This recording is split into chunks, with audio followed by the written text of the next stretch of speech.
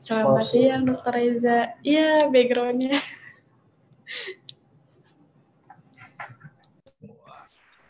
New normal kelihatannya. Tapi istri.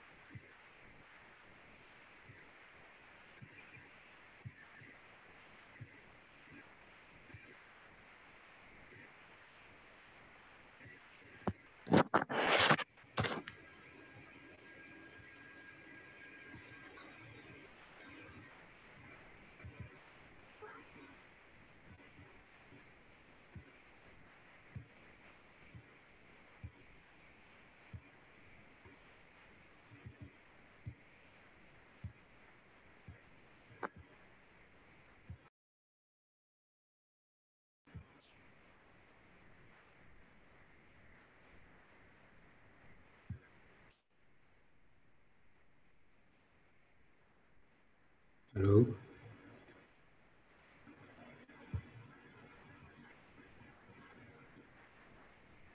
Halo juga. Ngetes dok. Oh, Saya nyari backgroundnya dok.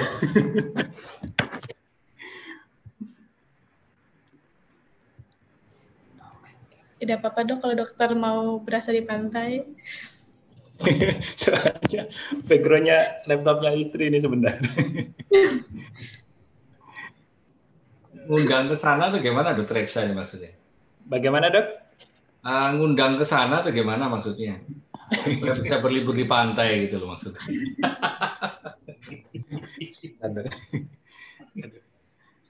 Laptopnya nggak nyala, minta di restart, minta di restart terus ini. Waduh. Berarti minta ke Surabaya itu laptopnya.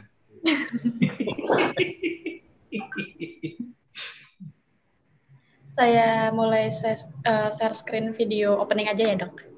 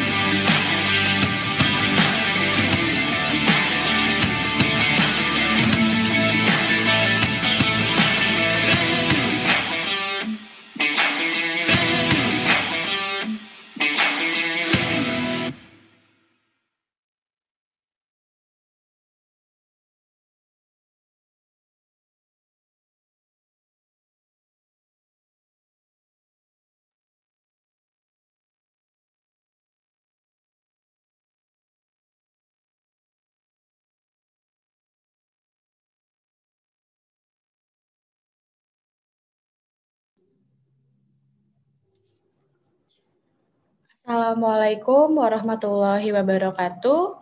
Selamat siang dan salam sejahtera untuk kita semua. Selamat datang di ANC Webinar Series Kuliah Online Sin Bedah Sinus Endoskopik Fungsional Dasar. Terima kasih telah menyempatkan waktunya untuk mengikuti sesi webinar series ini. Perkenalkan, saya Dea Asri Maria sebagai host yang akan membuka acara webinar series hari ini seperti yang diketahui uh, bahwa webinar ini merupakan webinar berkelanjutan yang diadakan sebanyak enam kali dengan inter interval waktu dua minggu. Dan hari ini pada tanggal 24 Oktober 2020 merupakan webinar kita yang terakhir dengan materi frontal sinusotomi part 2. Kemudian sebelum webinar ini dimulai, saya akan menyampaikan beberapa informasi dan aturan yang harus diketahui oleh semua peserta webinar. Yang pertama, audio Anda akan di-mute secara otomatis. Yang kedua, mohon tulis pertanyaan disertai nama dan asal institusi pada kolom Q&A. Yang ketiga, mohon tidak mencentang send as anonymous pada saat mengirimkan pertanyaan pada kolom Q&A. Yang keempat, untuk pertanyaan yang berkaitan dengan teknis acara, dimohon untuk mengisi pada kolom chat. Kepada peserta, dimohon untuk tidak menuliskan kehadiran pada fitur chat. Yang kelima, mohon isi survei setelah sesi webinar berakhir dengan cara menekan tombol continue pada saat webinar selesai, kemudian akan masuk pada website form feedback. Yang keenam, untuk mendapatkan sertifikat, peserta wajib login dan mengikuti sesi webinar hingga selesai. Dan yang terakhir, sertifikat akan diberikan pada setiap sesi webinar berakhir. Selanjutnya, eh, saya akan mempresentasikan produk secara singkat yang merupakan produk portofolio dari PT Advance Medicare Corpora selaku distributor tunggal Calstores di Indonesia. Saya akan memperkenalkan uh, motor sistem dari CalStores bernama Unidrive S3 ENT.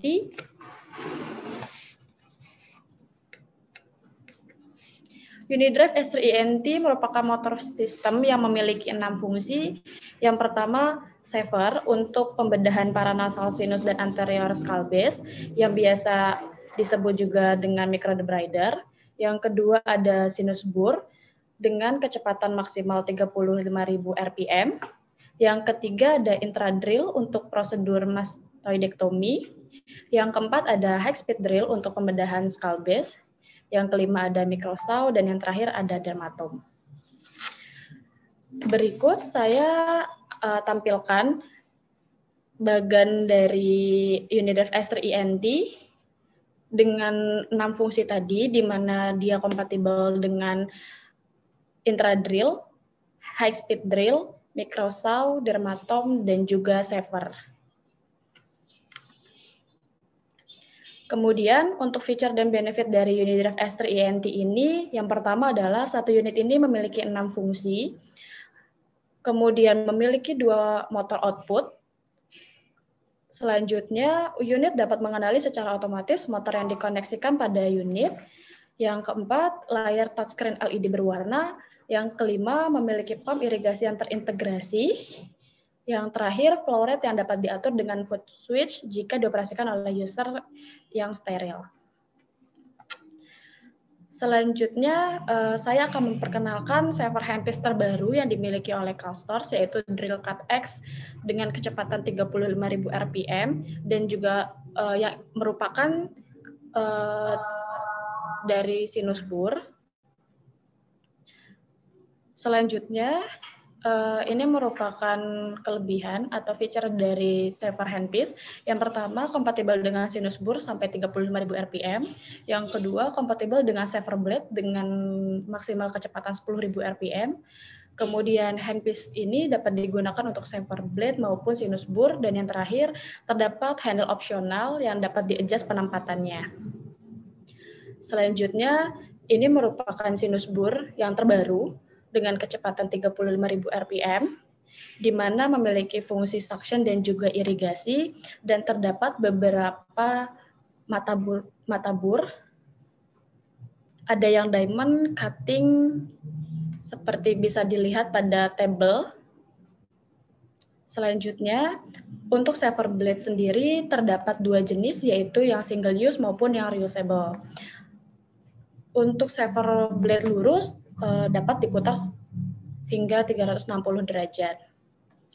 Saver blade ini juga memiliki beberapa ukuran diameter dari uh, ukuran 2, 3, dan 4 mm.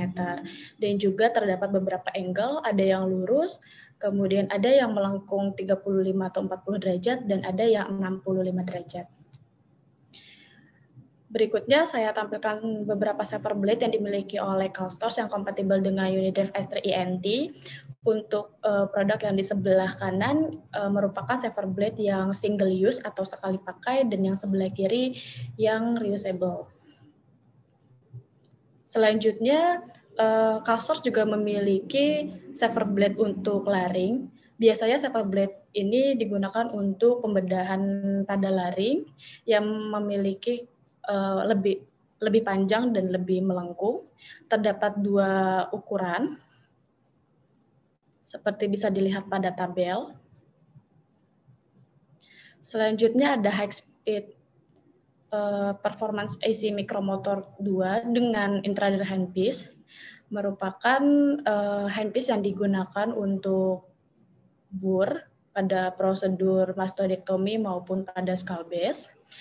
Handpiece ini juga dapat di autoclave dan untuk handpiece-nya sendiri terdapat uh, dua ukuran ada yang 40.000 rpm dan ada yang 80.000 rpm. Untuk bentuk dari handpiece-nya sendiri juga ada yang lurus dan ada yang angle. Kemudian yang terakhir juga terdapat irrigation tube yang bisa dilepas dan bisa dipasang. Kemudian untuk bur, untuk unit drive S3ENT pada intradual handpiece terdapat beberapa jenis bur. Yang pertama ada diamond bur, kemudian ada standar bur, dan ada yang tungsten. Untuk burnya sendiri tersedia dari size 0,6 mm hingga 7 mm. Baiklah, sekian uh, presentasi produk yang saya jelaskan. Selanjutnya saya akan memperkenalkan uh, moderator hari ini yaitu Dr. Irwan Kristiono, spesialis THT KL Konsultan.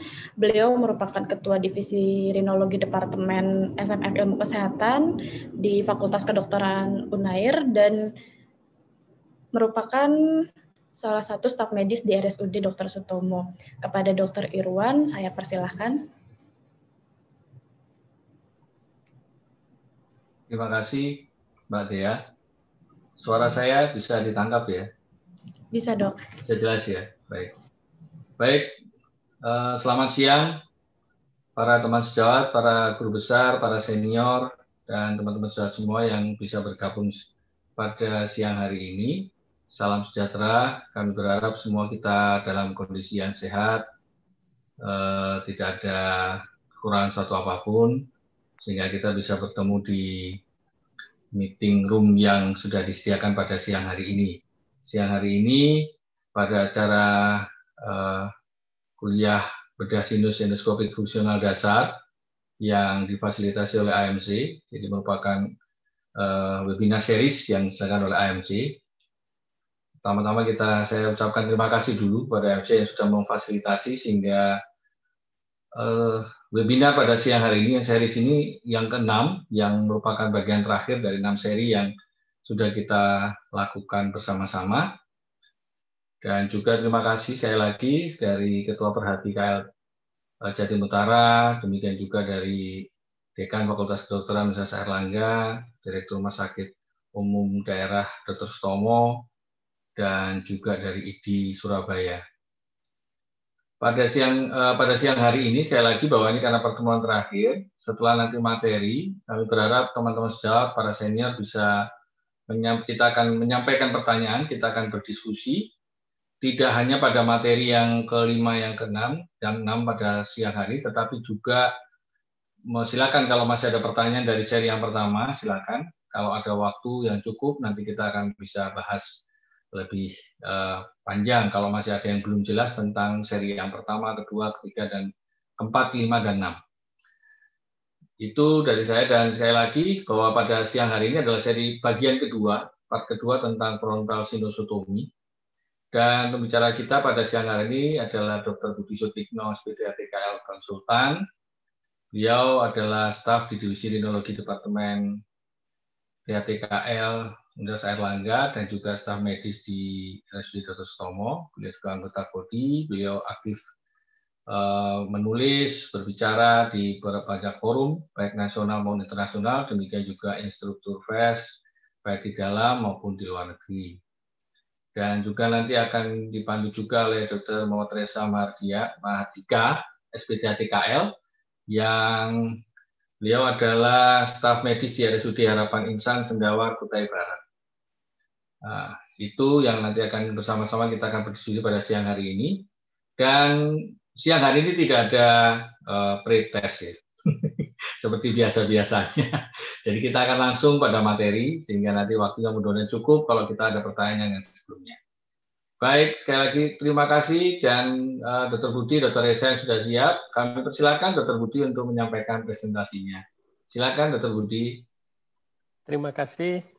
Terima kasih Dr. Irwan, moderator dan guru saya juga terima kasih Dr. Reza, setelah terima kasih tim AMC dan tidak lupa terima kasih sebesar-besarnya pada para senior, para sejawat yang menyempatkan untuk uh, join pada acara webinar yang diselenggarakan ini. Alhamdulillah kita sekarang pada sesi yang keenam.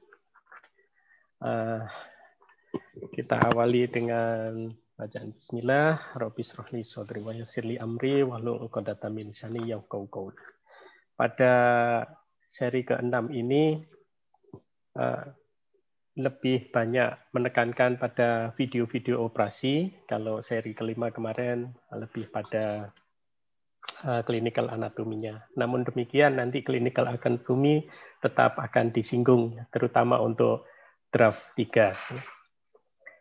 Jadi dalam rangkaian uh, bedah sinus endoskopik fungsional, kita sudah mencapai pada yang bahasan terakhir, yaitu frontal sinusotomi.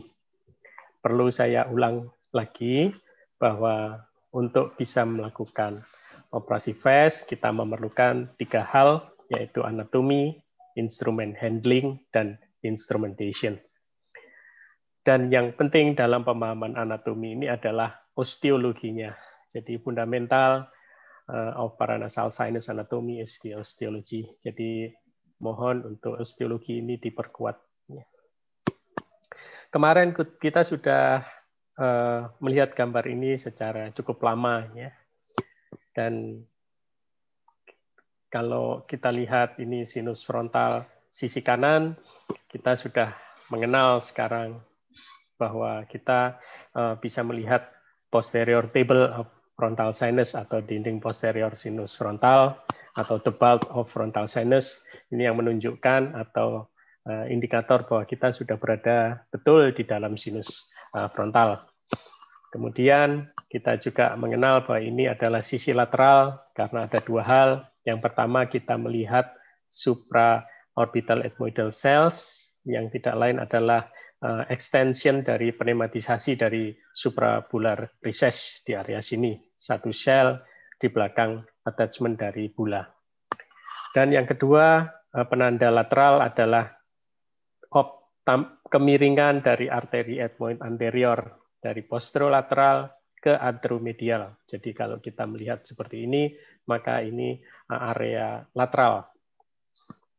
Kemudian ada bekas antara peralihan eh, dinding posterior sinus frontal dengan atap dari etmoid atau fovea etmoidalis os frontal itu adalah perlekatan dari lamela kedua yaitu bula lamela.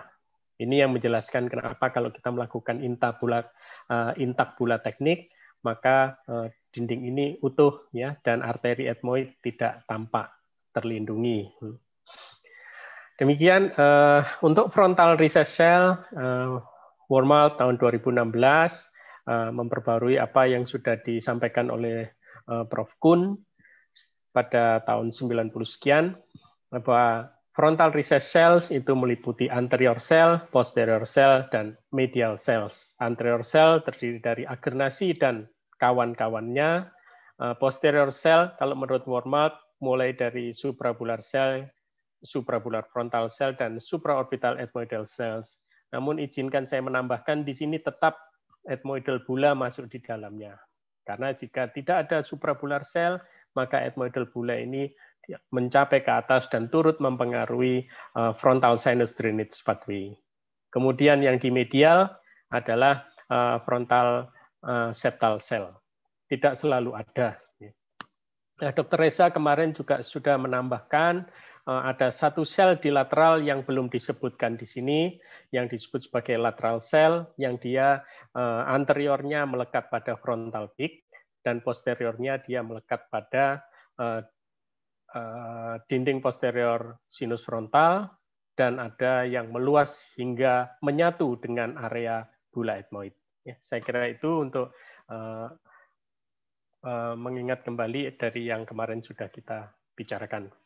Nah, ini ada beberapa landmark, tidak terbatas dari yang tertulis ini, tapi setidaknya kalau kita melakukan frontal sinusotomi, maka kita harus ingat Eh, struktur aksila. Aksila ini adalah anterosuperior attachment dari lempeng konkamidia ke os lagrimal. Ya.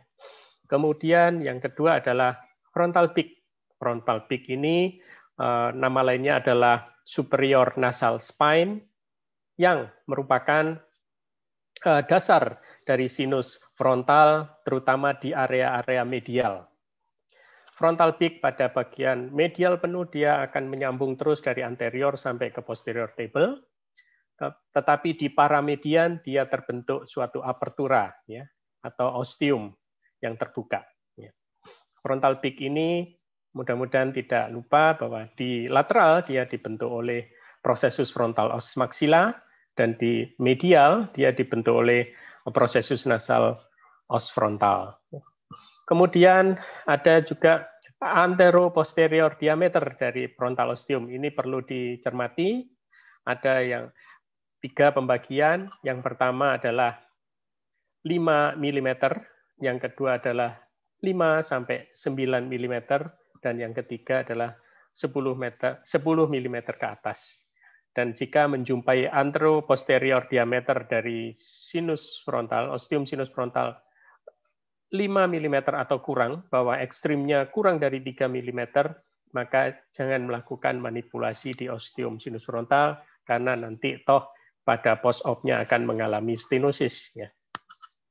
Kemudian yang ketiga adalah perlekatan prosesus uncinatus. Tiga perlekatan utama.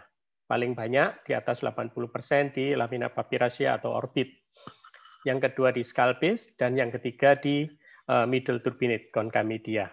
Namun perlekatan ini bisa ganda, jadi sebagian ke orbit dan sebagian ke skalpis, yang Prof. Aldo Stam menyebut sebagai vertical bar, yang juga harus di, uh, uh, diruntuhkan pada saat kita melakukan frontal sinusotomi. Kemudian uh, Keros classification. Keros classification ini suatu olfactory depth yang dibentuk oleh perbatasan dari fovea ethmoidalis os frontal dan horizontal portion dari cribriform plate. Kita mengenal ada keros 1, keros 2, keros 3. Keros 1 1 sampai 3 mili, keros 2 4 sampai 7 mili, dan keros 3 8 sampai 16 mili. Hati-hati bentuknya keros bermacam-macam. Apanya yang bermacam-macam adalah lateral lamelanya. Ada yang relatif dia vertikal, dan ada yang condong untuk horizontal.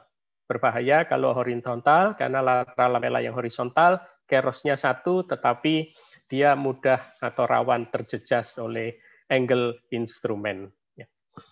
Kemudian berikutnya frontalisis cell sudah di uh, singgung tadi ya.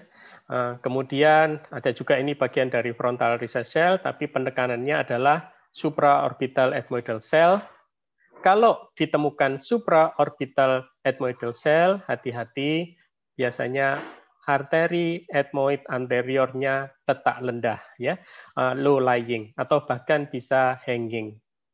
Jadi kemarin kalau tidak salah ada tiga ya, satu adanya supraorbital ethmoidal cell, dua kero satu, ya. Jadi yang ketiga adalah anteroposterior diameter ostium uh, frontal yang lebar itu biasanya disertai adanya low lying dari arteri ethmoid anterior. Kemudian yang penting, posterior table ini sebagai uh, dinding posterior sinus frontal atau the bulk of frontal sinus ini merupakan indikator. Jadi kalau kita ingin apakah saya sudah mencapai target di dalam sinus frontal, maka posterior table ini harus diidentifikasi. Ya. Kalau belum ketemu posterior table-nya, walaupun kita berada di dalam area sinus frontal, berarti kita belum di dalam sinus frontal. Kita masih berada di dalam frontal recess cell yang uh, menjorok ke dalam sinus frontal. Kemudian untuk pitfall-nya saya kira bisa di uh, tidak dihafal tapi bisa dimengerti. Tentunya karena uh, tadi kita membahas keros uh, melepaskan uh, unsinate proses di superior, kemudian gerakan uncapping egg itu bisa Eh, mengenai lateral lamela. Jadi kalau sudah mengenai lateral lamela, maka di sini bisa timbul CSF leakage. Ya. Kemudian injury pada arteri ethmoid anterior. Jadi hati-hati frontal sinusotomi ini juga terutama yang bukan intakbula itu bisa mengenai arteri ethmoid anterior. Yang harus diingat adalah letak arteri ethmoid anterior, apakah dia low lying atau tidak. Ya. Kemudian yang kedua, perlu diingat lagi bahwa letak arteri ethmoid anterior itu berada 87 persen berada di antara lamela kedua dan lamela ketiga. Ya. Sekitar kurang dari 5 persen persis berada di lamela kedua dan sekitar 11 persen persis di lamela ketiga. Jadi eh, studi dari CT scan tetap sangat penting. Kemudian hati-hati injury pada orbit.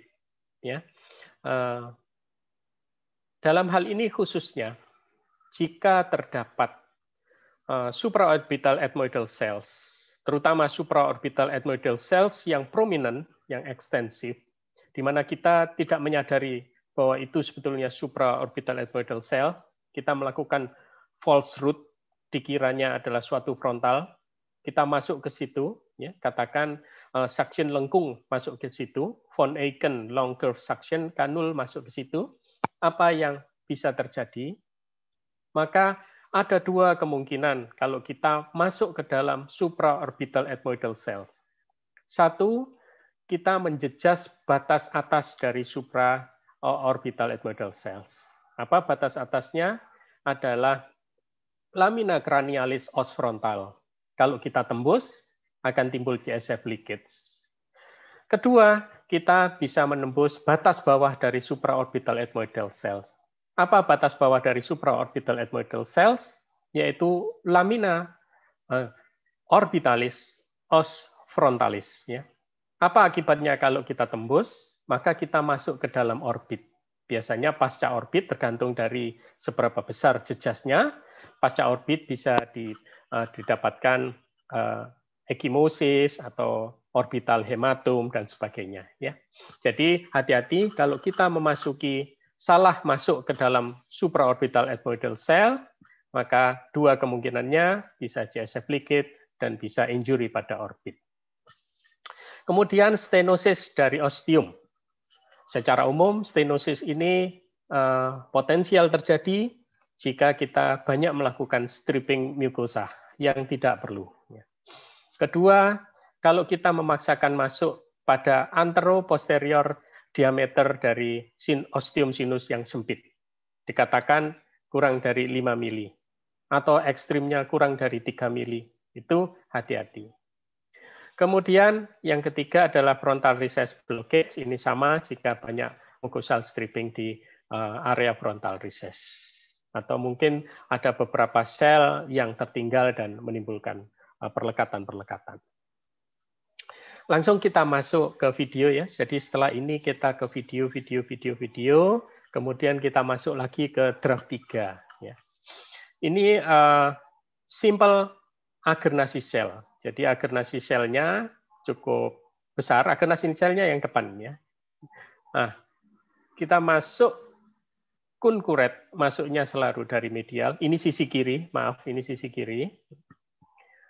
Nah, kita tolak ke arah lateral atau ke antrolateral, maka langsung menemukan uh, sinus frontal. Ya.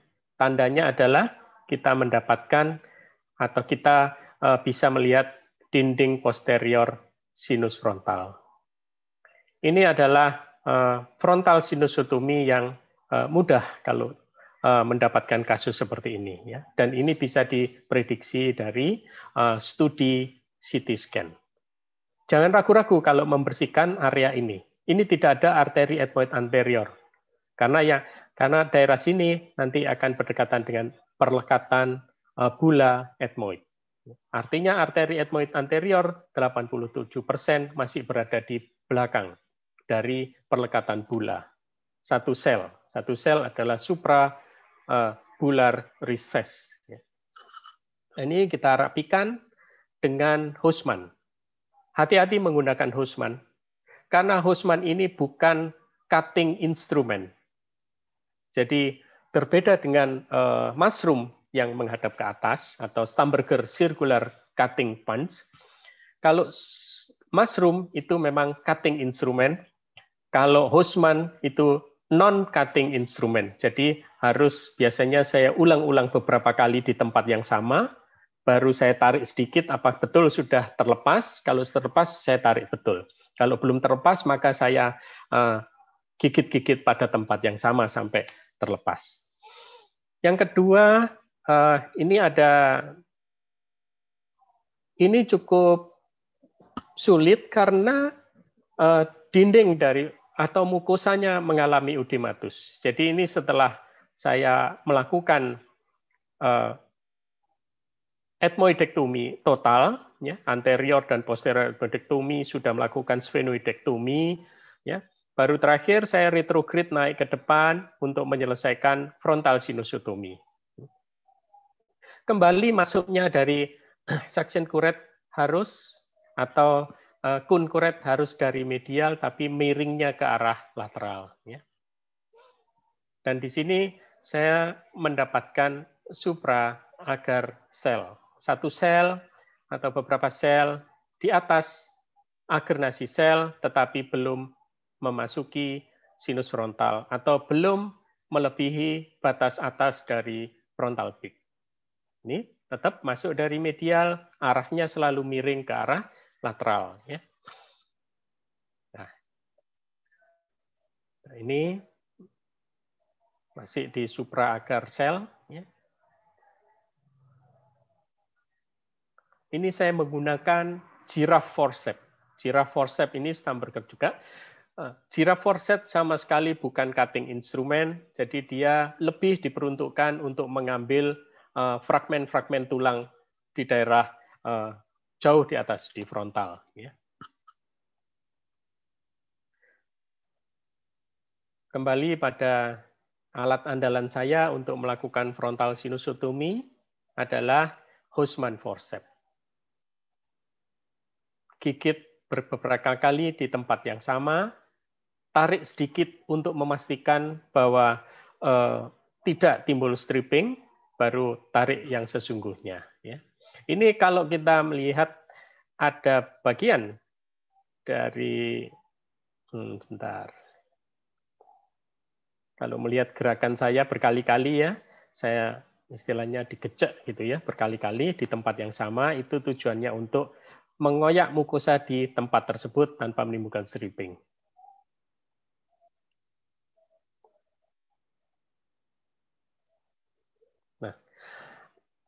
ini ada seolah-olah dua ruangan ya. Satu ruangan lebih medial, satu ruangan di uh, lateral ya.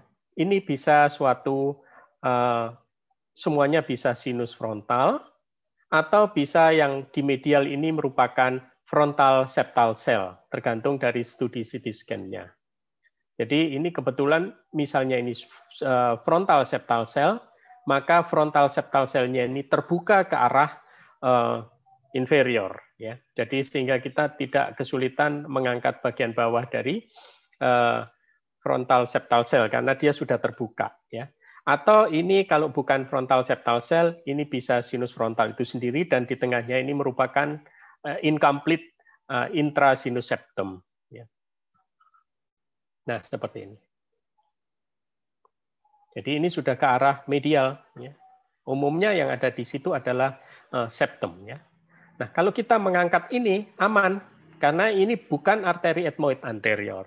Ini adalah perlekatan dari bula etmoid yang ini ya. Yang ini perlekatan dari bula etmoid. Arteri etmoid anteriornya tampak di belakang ya. Nah, kalau lihat ini adalah perlekatan dari bula etmoid, arteri etmoid anterior terletak di belakangnya. Jadi kalau perlekatan bula ini umumnya aman. Ya. Hati-hati kita mengangkat menggunakan jiraf. Jiraf itu ada yang membuka ke anteroposterior, ya, dan ada yang membuka ke laterolateral, jadi membuka ke samping. Dan lengan bukaan dari jiraf ini kedua lengan terbuka, berbeda dengan black slay atau true cutting forceps yang sebetulnya lengan yang eh, bergerak itu yang membuka hanya satu sisi.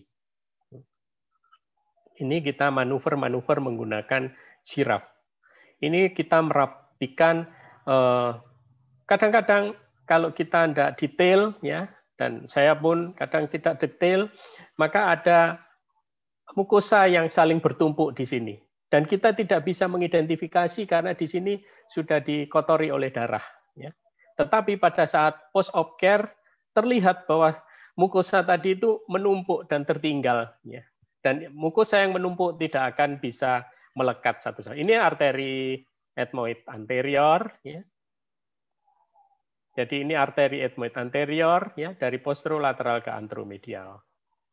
Dan di depannya adalah perlekatan dari uh, bulan. Nah, kita masuk ke dalam uh, sinus uh, frontal ya. Dan kemungkinan ini frontal septal cell yang terbuka ke arah lateral dan kebuka ke arah uh, inferior. Ini ada supraagar frontal cell. Kalau masih ingat kemarin, ini adalah CT scan-nya. Mohon maaf tadi tidak ada CT scan. Ini adalah uh, supraagar frontal cell dikonfirmasi dengan potongan sagital tampak bahwa sel supraagar frontal sel seperti ini. Artinya apa? Artinya dinding anterior supraagar frontal sel adalah dinding anterior sinus frontal. Sedangkan dinding posterior dari supraagar sel adalah sel itu sendiri. Sehingga pada saat kita uh, masuk ke dalam supraagar frontal sel, maka kita yang tidak bisa melihat dinding posterior eh, sinus frontal karena tertutup oleh lapisan atau dinding posterior dari supraagar frontal cell. Mari kita lihat ya.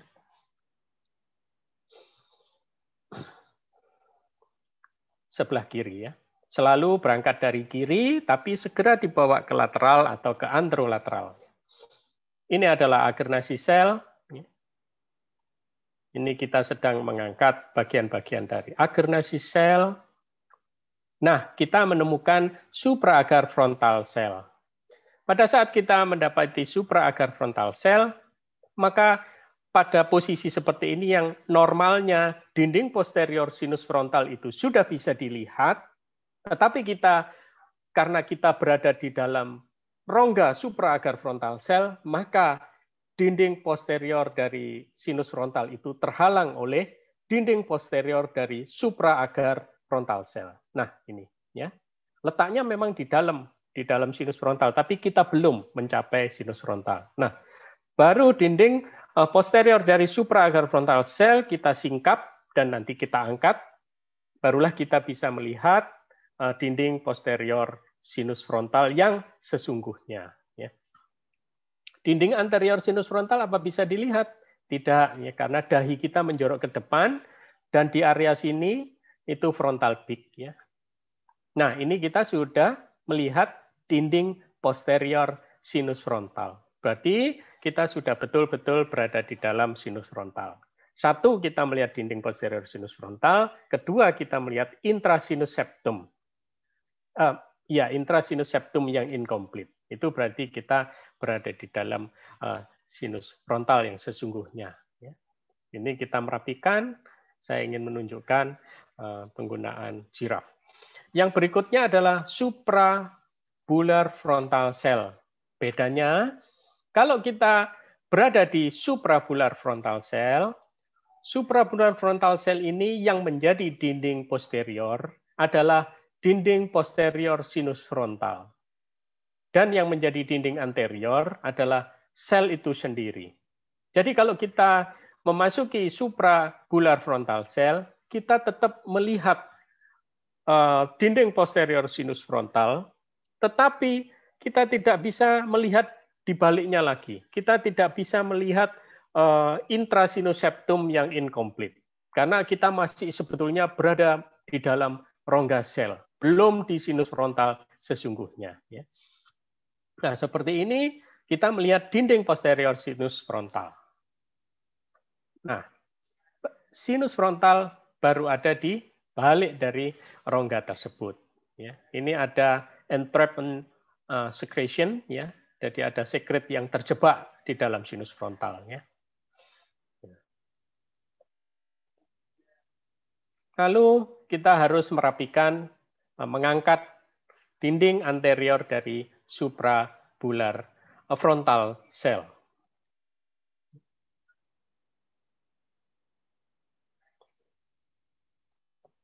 Saya ingin menunjukkan cara menggunakan jiraf. Ya. Dan cara menggunakan jiraf ini memang perlu latihan, karena kalau tidak latihan kadang kita posisinya meremas, posisi di, di, di mulutnya jirafnya berubah biasanya, bergeser. Ya. Nah ini kita lanjutkan dengan Hosman. Ini bukan melakukan stripping mucosa, bukan.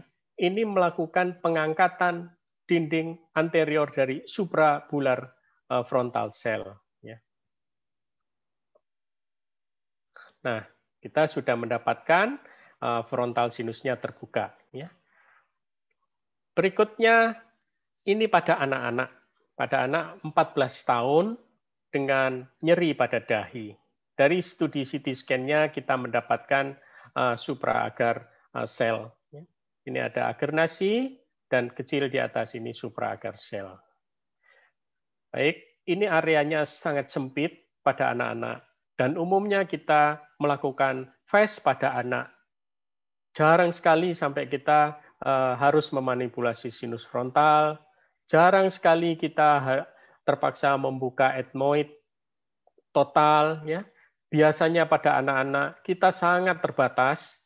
Satu, kita hanya membuka melakukan unsinektomi dan MMA atau mungkin bulektomi stop. Biasanya seperti itu.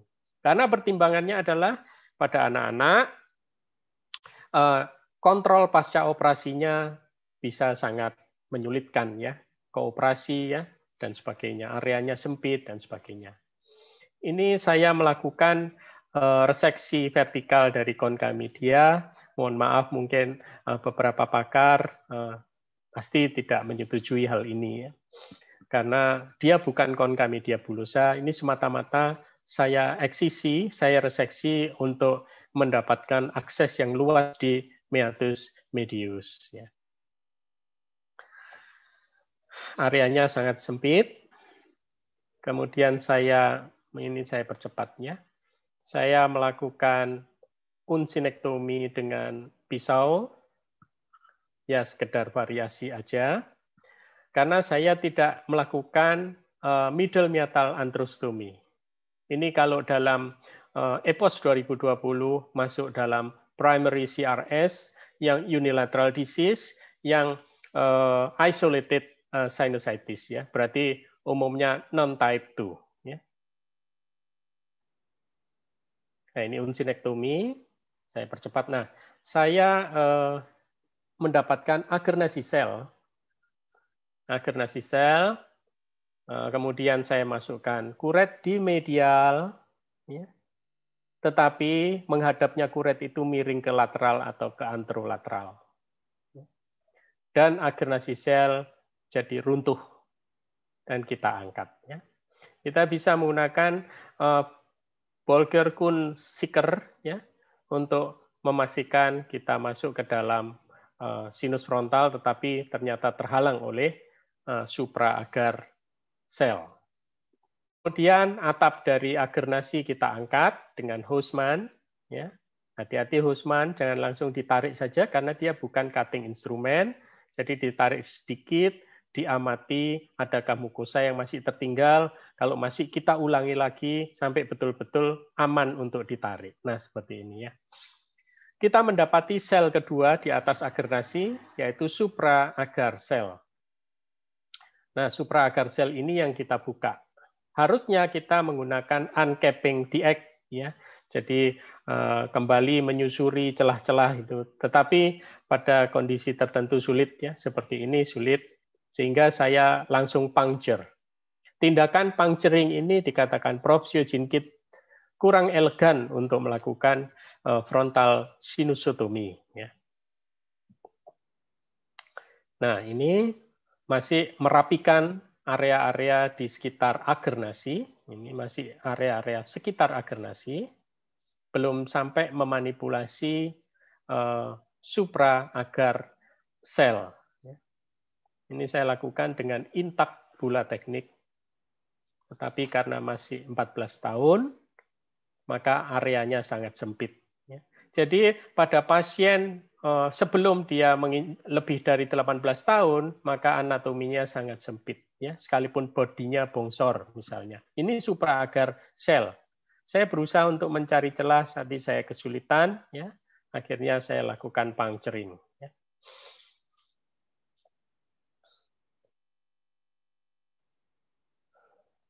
Nah, saya tusuk seperti ini. Saya pastikan bahwa saya masuk ke dalam uh, sinus frontal. Nah, puncturing. Sekali lagi, puncturing ini dikatakan propsio jinkit eh, tindakan yang kurang elegan di dalam eh, frontal sinusotomi ya.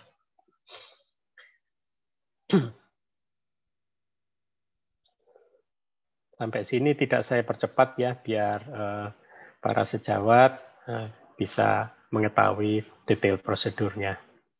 Kemudian saya rapikan kembali dengan Hosman. Kalau para sejawat lihat bahwa saya manuver cukup kesulitan karena area yang sempit. Ya. Ini ada stripping mucosa, nah, kita potong ya, dengan Husman. Baik, kita bisa masuk ke dalam sinus frontal. Ya. Hal yang mengkhawatirkan adalah terjadinya stenosis pasca operasi. Ya karena ini cukup sempit.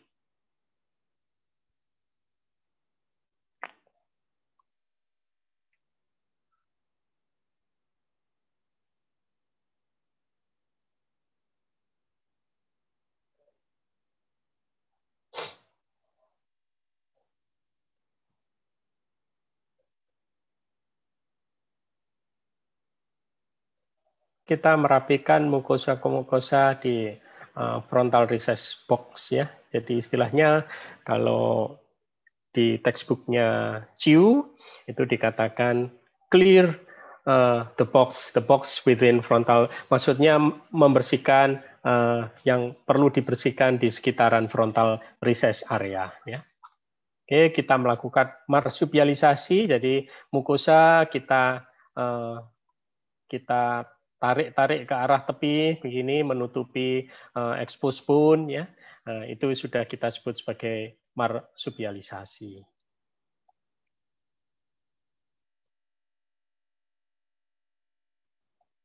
Baik, uh, enam minggu pasca operasi kita dapatkan area yang sempit dan ini pada saat kontrol di poli dan tentunya bisa dibayangkan anak 14 tahun kita paksa masuk di sini dengan uh, teleskop 45 derajat, tentu nyeri sekali ya. Jadi uh, ini nyeri, tapi saya harus mengetahui bagaimana uh, frontal sinusnya terbuka atau tidak ya. Nah, rupanya frontal sinusnya terbuka tapi mengalami penyempitan.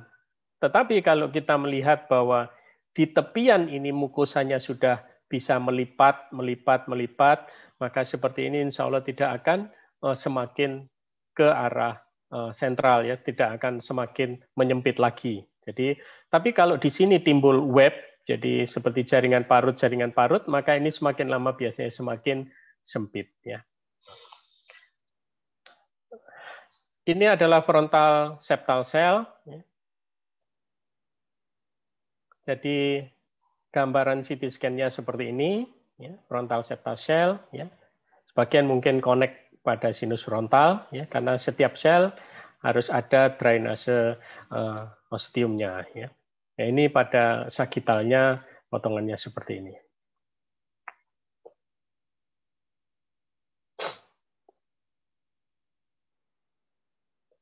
ini kita membersihkan uh, area frontal recess ya.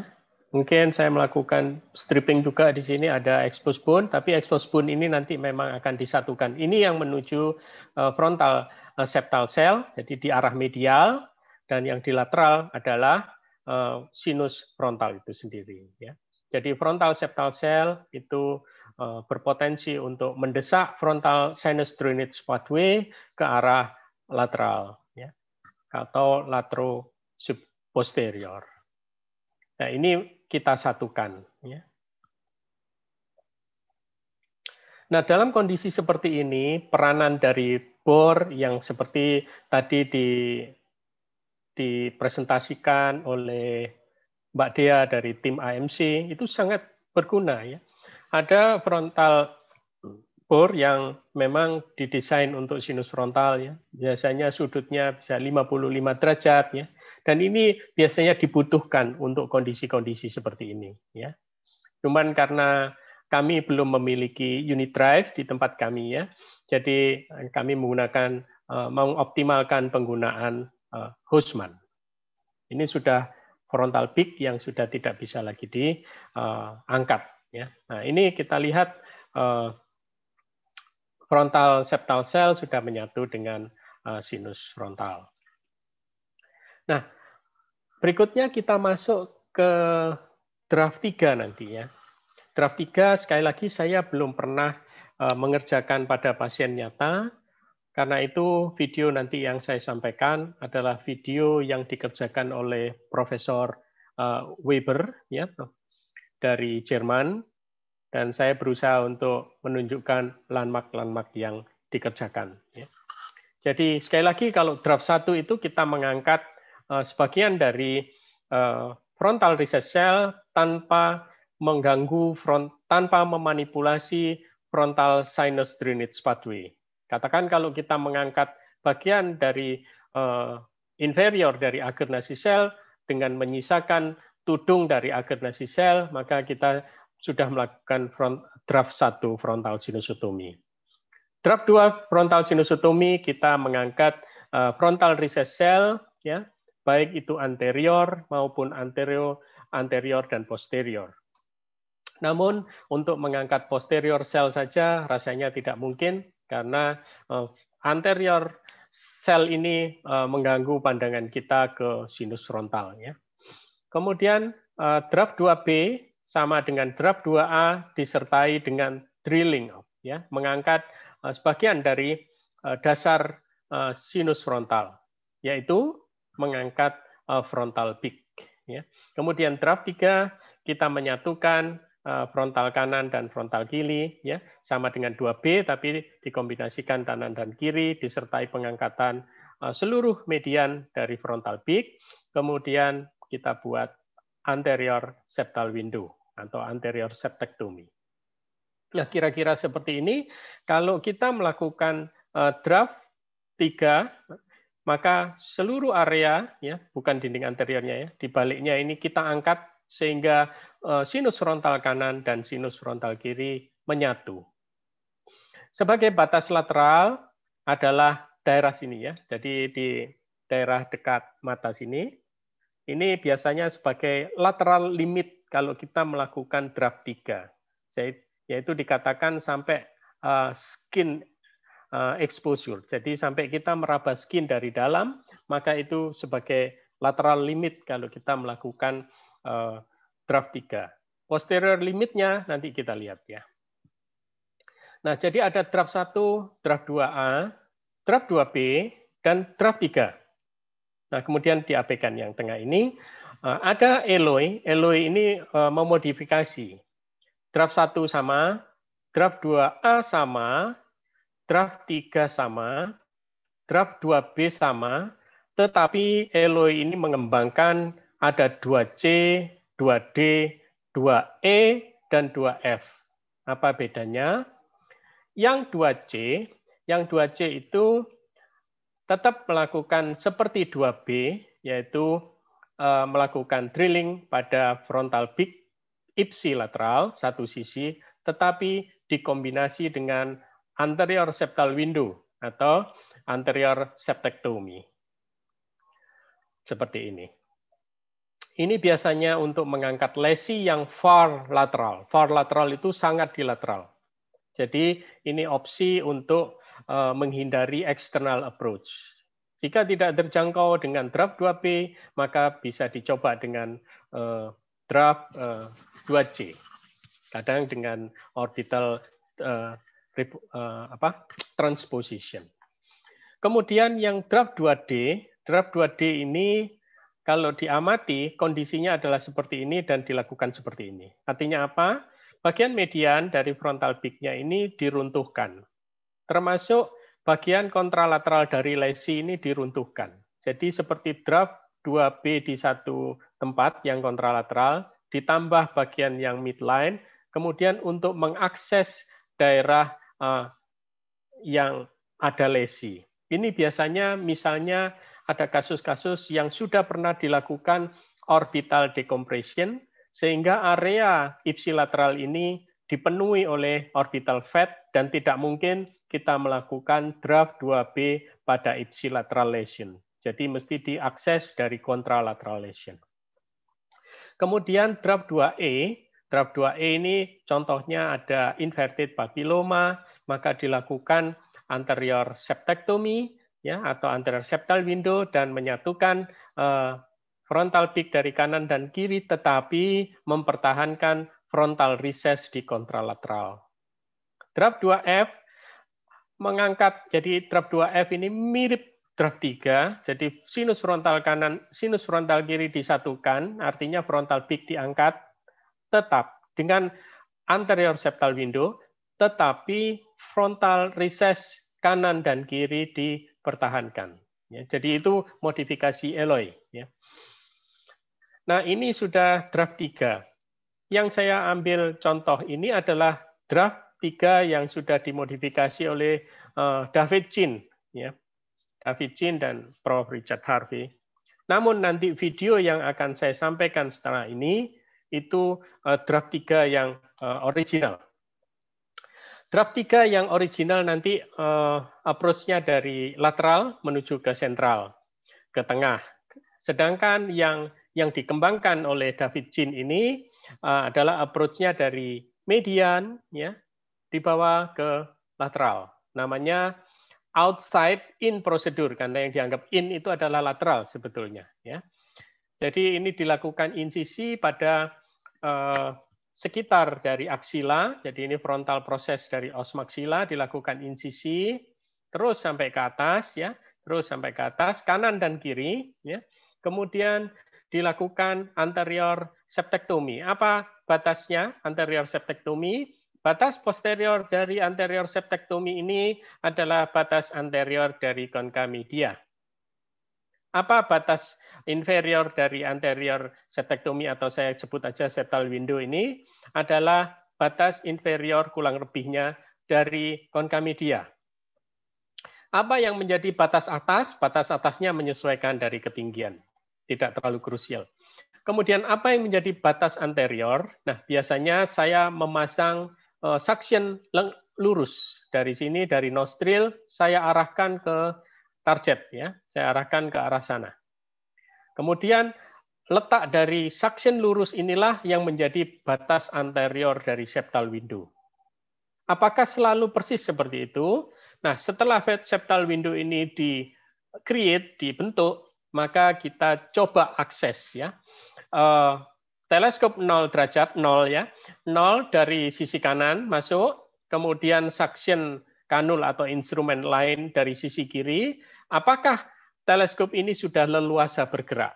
Kalau leluasa bergerak artinya septal window sudah cukup. Tapi kalau teleskop ini dari kanan menuju ke kiri ini belum leluasa bergerak, maka bagian mana yang masih mengganjal itu perlu diruntuhkan. Jadi itu ya. Kemudian mukosa di daerah eh, level atas, level depan dari konka media ini terus diinsisi ke atas ya, diinsisi ke atas begini. Setelah itu dilakukan diseksi ke posterior. Diseksi ke posterior apa yang kita cari adalah first olfactory fiber ya. First olfactory fiber ini tidak langsung ketemu, tapi kita akan menjumpai dulu arteri di sini. Arterinya kecil tidak jadi masalah ya. Arteri ini disebut arteri nasal anterior kalau tidak salah. Ini merupakan percabangan dari arteri ethmoid anterior. Jadi arteri ethmoid anterior ini sebelum dia masuk ke arah septum ya, dia akan menjadi cabang yang lateral dan medial. Yang lateral dia nanti akan menyuplai kalau masih ingat ya, menyuplai uh, bagian anterior dari konka media, menyuplai bagian dari prosesus uncinatus, dan menyuplai area anterior dari dinding lateral kavum nasi. Jadi itu adalah cabang lateral dari arteri ethmoid anterior. Ya. Kemudian uh, karena itu ya, karena itu kadang beberapa yang masih Eh, suka untuk melakukan infiltrasi, yang infiltrasinya di atas aksila adalah tujuannya untuk blok atau vasokonstriksi pada arteri ethmoid anterior. Kemudian yang lateral nanti ke arah septum, ya, yang turut membentuk plexus Kieselbach. Oke, kita kembali pada diseksi ini. Setelah diseksi ke posterior, kita melihat first olfactory fiber, maka kita stop. Itu sebagai posterior limit Apakah posterior limitnya itu persis di keluarnya first olfactory nerve fiber? Jangan terlalu riskan. Kita harus beberapa mili di anteriornya. Katakan 2-3 mili di anteriornya, nanti kita bisa adjust ke belakang lebih lanjut. Jadi jangan patokan persis di level dari keluarnya uh, first olfactory fiber. Artinya apa? Landmark itu. Landmark itu artinya jika kita sudah menjumpai first olfactory nerve fiber itu as, asalnya kan tembusnya nanti ke bulbus olfactory.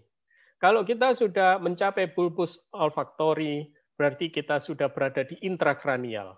Artinya, kalau ada first olfactory nerve fiber tadi, itu kita sudah uh, level di atasnya itu adalah intrakranial. Karena itu kita harus mengambil jarak aman ke anteriornya. Ya, itu yang disebut sebagai batas posterior limit, tapi bukan true posterior limit. Ya. Kemudian kita mulai drilling, drilling dari sentral, ya, outside in. Jadi mulai dari tengah dibor. Nah ini perlunya bor seperti yang disampaikan oleh Mbak Dea tadi. Gunakan yang aman adalah gunakan diamond bore. Ya diamond bore ini bisa kita pakai yang 3 mili, kemudian yang sudutnya 15 derajat.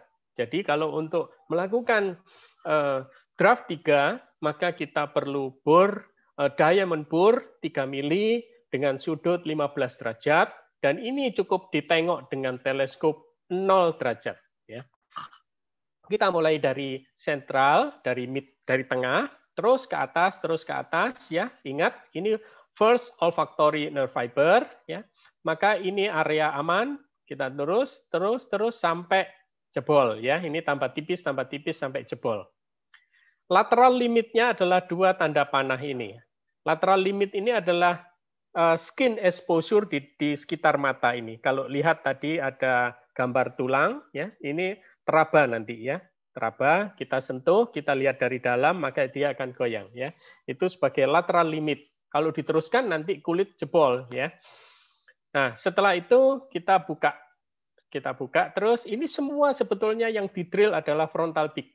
Ya, jadi semua kita melakukan drilling frontal peak sehingga tampak sinus frontal yang eh, kanan dan sinus frontal yang kiri. Ya, frontal recess cell di mana belum frontal recess cell letaknya di sisi posterior lagi. Jadi ini belum menyentuh frontal recess. Ya, ini murni frontal peak dasar sinus eh, frontal di bagian median. Ya.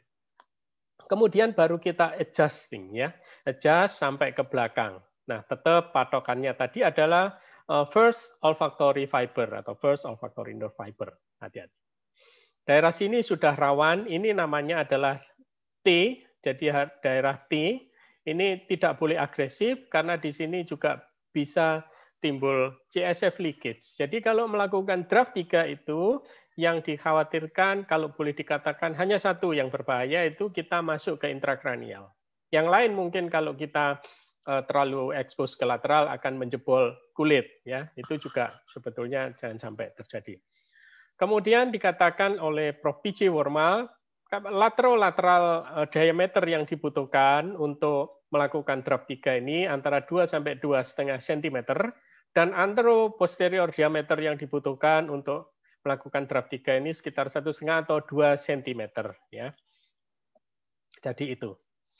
Baik, uh, ini adalah video dari Prof. Weber ya. Kalau ini bukan menggunakan outside in prosedur, tapi ini originalnya dari uh, inside out ya, dari lateral ke uh, medial.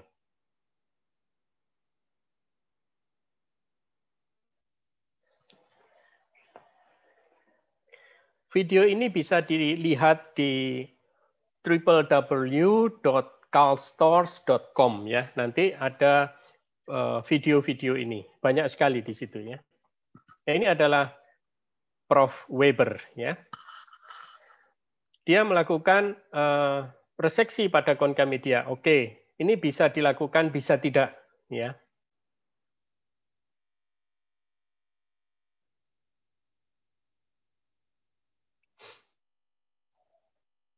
Frontal recess ada di sana ya ini mukosa di atas agar nasi, mukosa di area prosesus frontal os maxilla bagian puncak di insisi. Ya.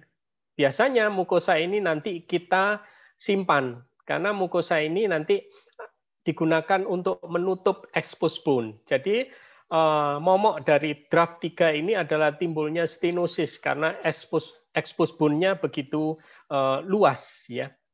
Kedua, kita menggunakan drill secara ekstensif. Jadi irigasinya harus kuat karena drill itu menciptakan panas ya. Nah, ini ini adalah posterior dari septal window, posterior septal window ya. Kira-kira pada batas anterior dari konka media dan ini fleksibel ya. Ini fleksibel.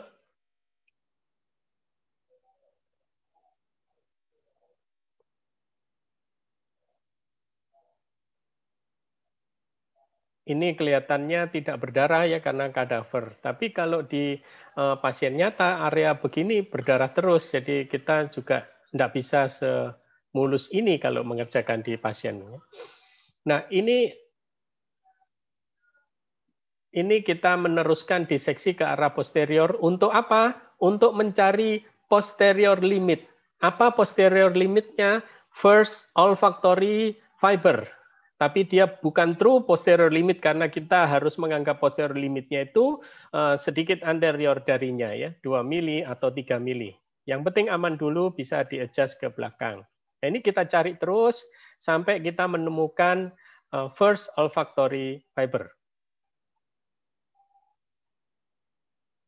Nah, biasanya mukosa area ini yang jika tidak digunakan lebih mudah diangkat menggunakan micro debrider ya untuk mempercepat proses.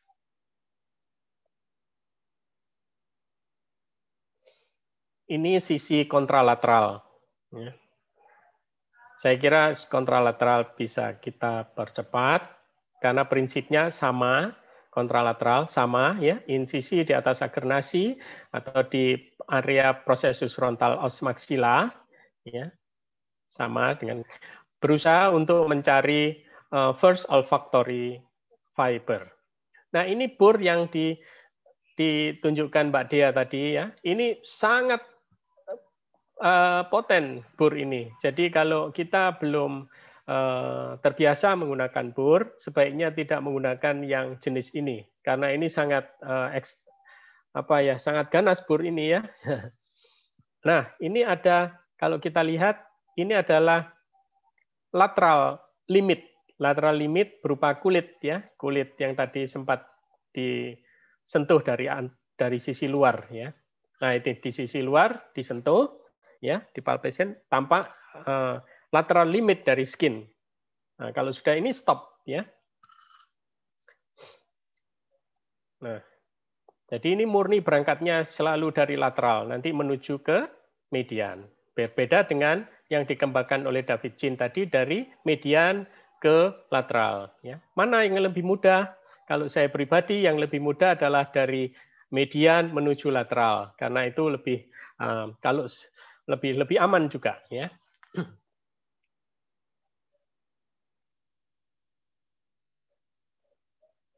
Nah ini terus dari lateral berangkatnya dari lateral dan terus ke anterior ya. Mungkin Eh, buat sejawat mungkin ini membingungkan karena sebetulnya yang lebih mudah diikuti adalah yang outside in prosedur ya. Ini melanjutkan posterior septektomi ya. Saya kira saya percepat ya. Ini sama, ini uh, menipiskan area lateral ya, prosesus frontal os maxilla Batasnya apa tadi? Batasnya sampai skin exposure. Ya.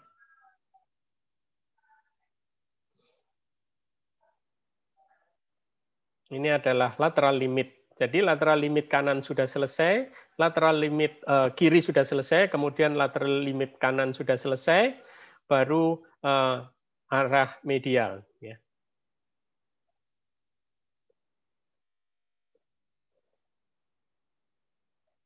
Dari sini menuju ke anterior. Apakah ini frontal recess? Bukan, frontal recess masih di posterior sana ya. Ini murni e, mengarah ke sinus frontalnya. Mengangkat frontal peak. Ya. Nah, ini terus mengangkat frontal peak. Nah, itu sinus frontal tampak ya, kanan dan kiri. Dan nanti disatukan Nah, ini disatukan ya. Jadi lateral to lateral ini dikatakan Prof PJ Wormat sekitar 2 sampai 2,5 cm. Kemudian antero posterior uh, width lebar itu dikatakan sekitar eh, satu setengah sampai 2 cm ya. Mungkin ini angka ini bervariasi ya. Depan ini jangan terus diangkat terus nanti daerah di sini nanti jebol ya. Nah, ini hati-hati. Ini first olfactory fiber. Jadi ini rupanya dicari belakangan ya. Tetapi kalau pada uh, modified ya, yang outside in itu ini dicari duluan ya. Saya lebih prefer untuk mencari duluan di awal. Ini first olfactory fiber. Ini tidak boleh kita sudah manipulasi daerah atas ini pasti intrakranial ya. Ini daerah T namanya. Nah, kita harus hati-hati mengangkat sedikit ini ya, karena menuju intrakranial sudah sangat dekat ya. Ini hati-hati ya.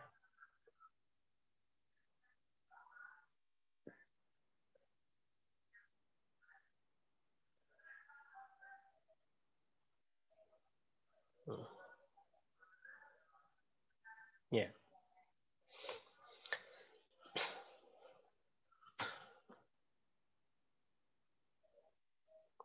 Nah, menggunakan bur ini untuk daerah sini saya tidak akan berani ya, karena ada melesetnya bur ini terlalu ganas ya bisa jebol uh, posterior table dari frontal sinus. Ini dinding posterior sinus frontal. Ini dinding posterior sinus frontal. Yang diangkat ini adalah dari mediannya. Ya. Demikian seterusnya. Jadi apa yang tercipta? Dia expose bone yang begitu luas ya. Jadi ini rawan untuk terjadi stenosis. Dan expose bone ini eh, kita upayakan tutup dengan eh, free free graft ya, dengan sisa-sisa mukosa tadi.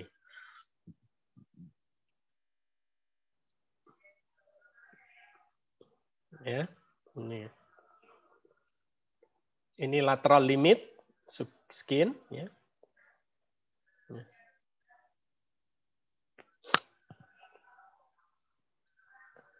Ini lebih atas ya. Jadi hati-hati dan ini frontal kanan, frontal kiri disatukan. Posterior uh, table-nya tidak masalah, masih dilapisi mukosa. Yang jadi masalah adalah anterior ini yang bekasnya di drill. Ini exposed bone ya. Edge, maaf.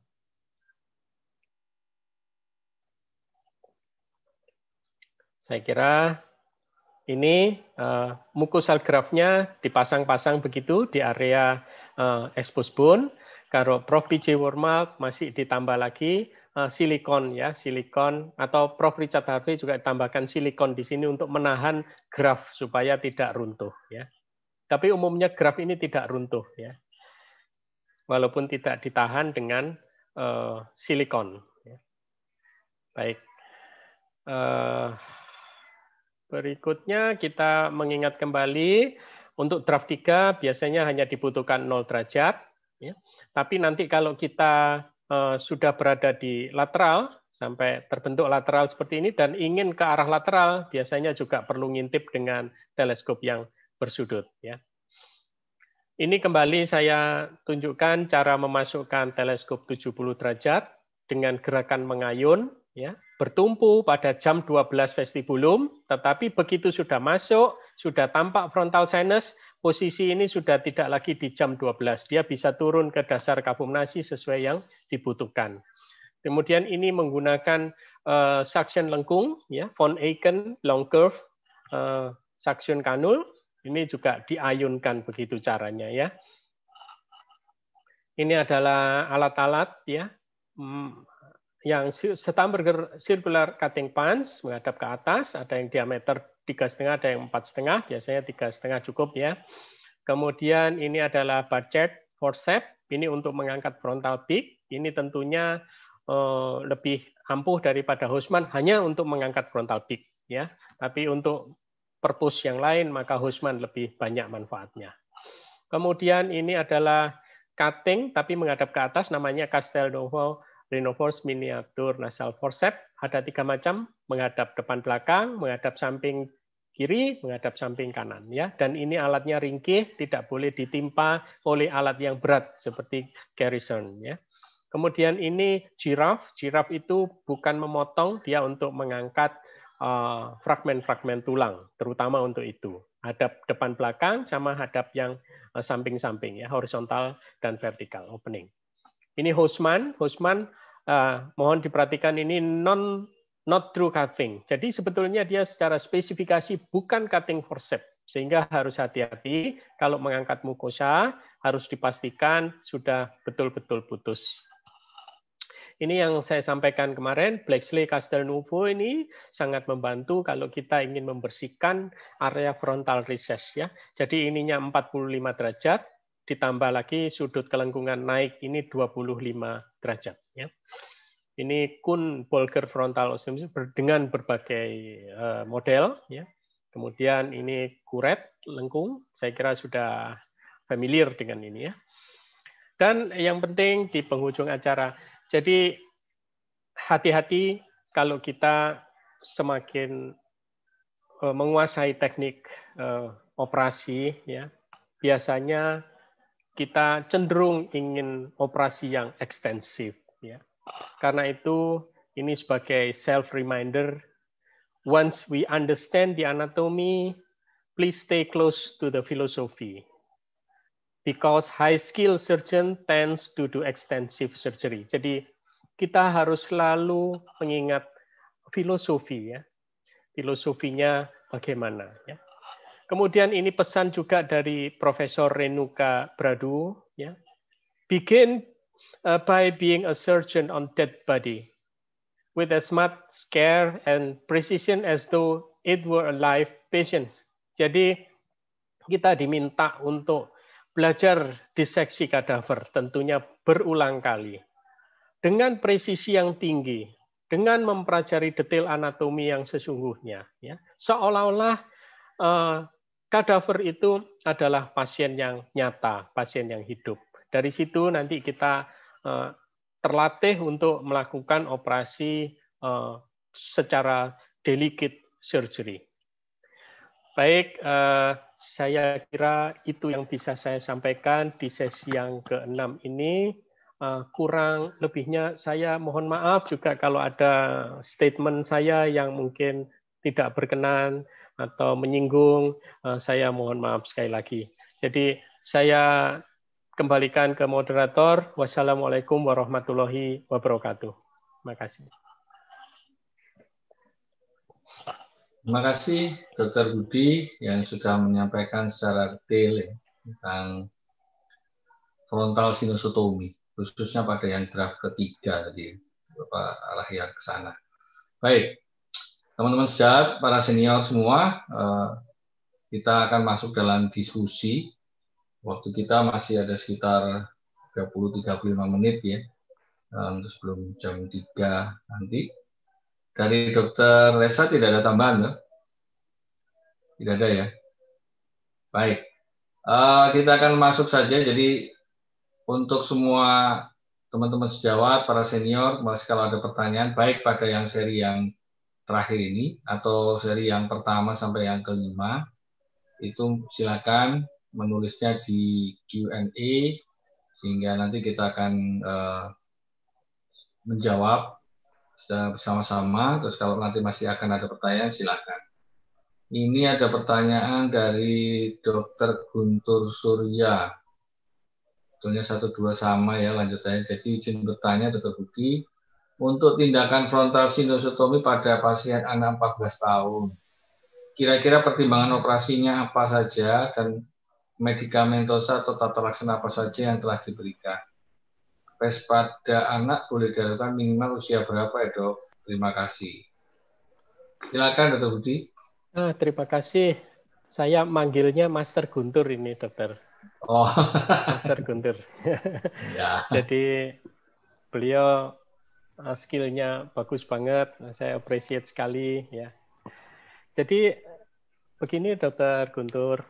Prinsipnya kalau pada anak itu memang limited surgery dan jika memang itu bisa diselesaikan secara medikamentosa, tentunya harus ditempuh secara medikamentosa.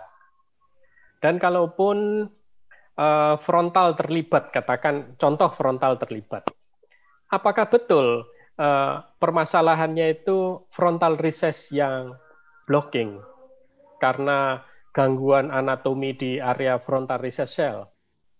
Jika tidak disebabkan oleh gangguan anatomi di area frontal recess, ya, maka biasanya dia hanya sebagai akibat saja. Misalnya penyempitan di area infundibulum, atau misalnya pada konkamedia bulosa, dan sebagainya. Sehingga, atau misalnya pada antroquanal polip, antroquanal polip yang menyempitkan area meatus medius, sehingga tidak hanya menimbulkan uh, secondary sinusitis pada maksila, tapi juga secondary sinusitis pada anterior ethmoid, eh, secondary sinusitis pada frontal. Nah, kalau penyebabnya itu karena sekunder akibat hal lain, maka biasanya kita tidak perlu membuka frontal recess. Kita cukup membersihkan apa yang menjadi penyebab utamanya. Nah, yang saya sajikan tadi, kenapa kok saya harus membuka frontal recess?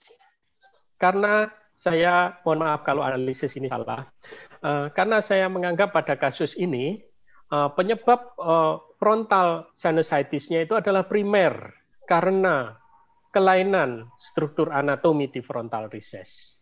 Kalau kita sudah berbicara mengenai kelainan struktur anatomi, umumnya pendekatannya adalah operatif, bukan medikamentosa. Jadi pada pasien ini datang tentu pertama kali tidak kita lakukan operasi, tentu dengan medikamentosa, tanpa saya tahu apa CT scan-nya sebetulnya. Ya. Tetapi setelah pasien itu kontrol, uh, dan tidak membaik dan dari historinya sering kali berulang masalahnya di area yang sama, maka akhirnya saya putuskan CT scan untuk mengetahui anatomi dari frontal recess. Dan ternyata benar, daerah frontal recessnya mengalami blocking seperti itu.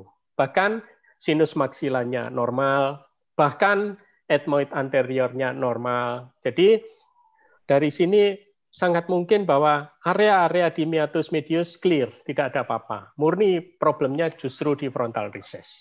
Primary CRS, non-type 2, unilateral, ya, isolated sinusitis. Jadi ini termasuk di kategori itu. Dan ini merupakan indikasi untuk dilakukan direct surgical option.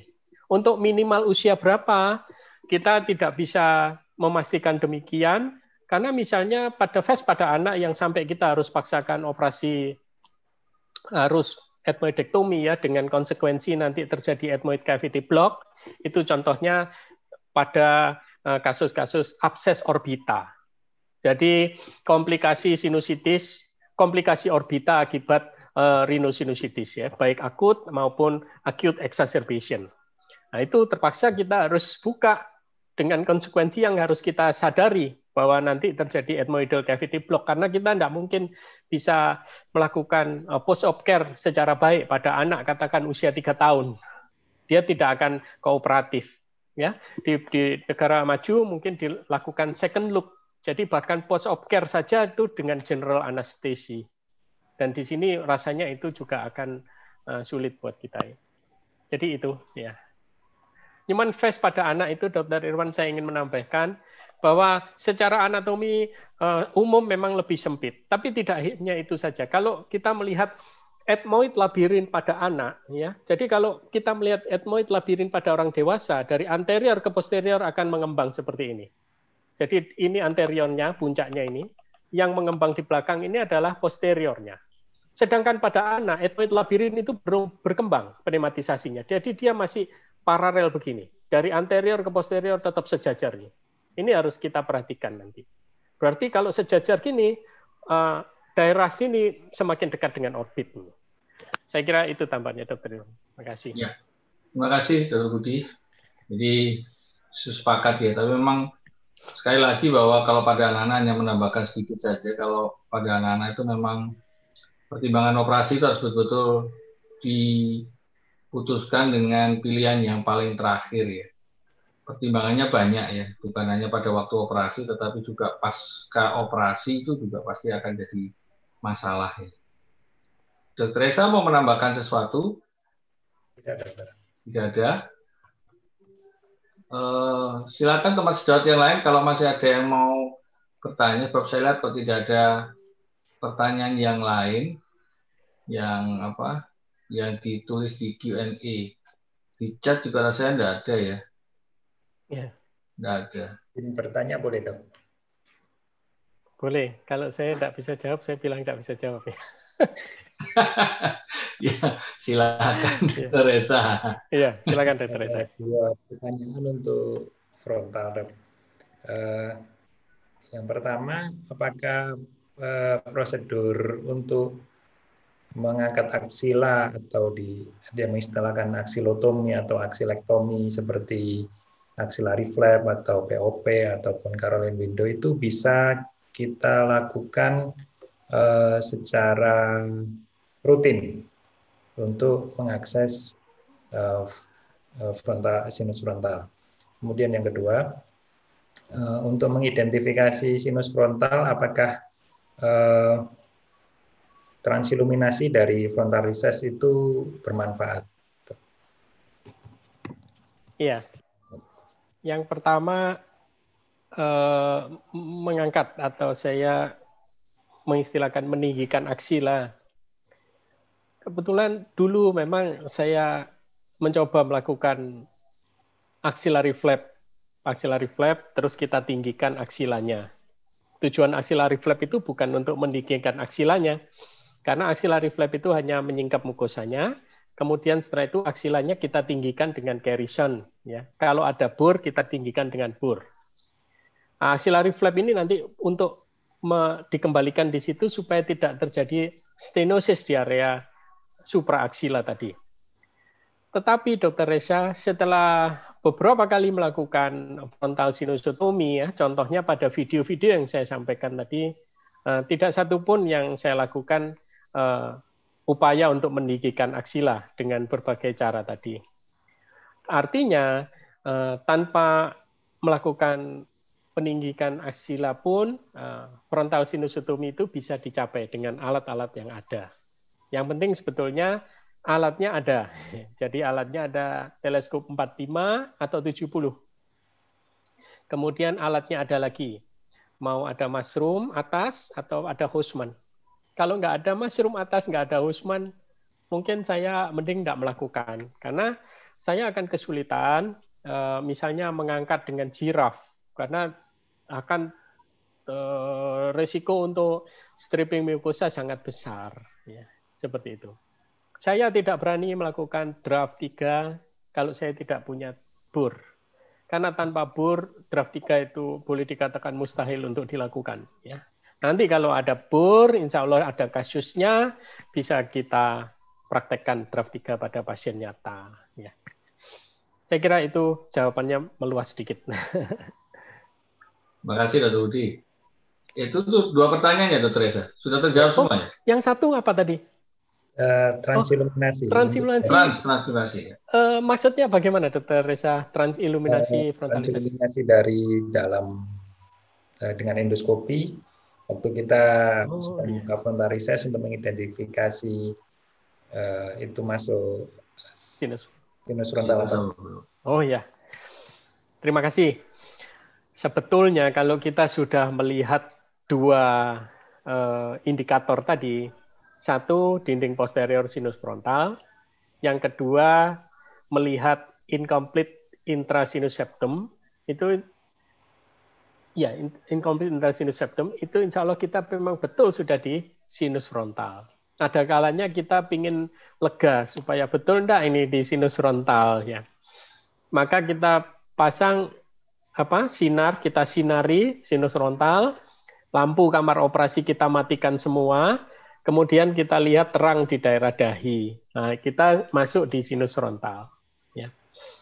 Tapi jangan salah, kalau kita berada di suprabular frontal cell, kita berada di supra uh, agar frontal cell, jika dia dindingnya tipis, bisa tetap terang loh ini. Jadi harus kembali identifikasinya adalah dinding posterior sinus frontal. Itu yang harus kita ingat untuk identifikasi sinus frontal. Saya kira itu. Ya, makasih Dr. Budi. Ya, memang saya eh, yang tentang kedua ya, tentang transeliminasi itu memang harus hati-hati memang. Lebih lebih tepat, saya lebih setuju kalau memang kita melihat langsung ya dari endoskopi, kemudian kita melihat eh, apa secara anatomis itu benar apa enggak. Itu tadi ada pertimbangan seolah-olah tadi ya, karena ketep, ketip, apa, ketebalan daripada dinding uh, sel yang ada di situ sehingga nanti kelihatannya seperti oh iya ini sudah frontal selesai sudah terus kita langsung berhenti gitu. Lah itu ya itu yang bahaya. Padahal belum selesai padahal ya. Belum belum yeah. selesai ya. Drainasenya belum terbentuk nanti jadinya nanti jadi uh, sesuatu yang ini. Karena saya sendiri pernah melakukan itu. Dan ya waduh saya getun sekali. Getun tuh ya kecewa ya.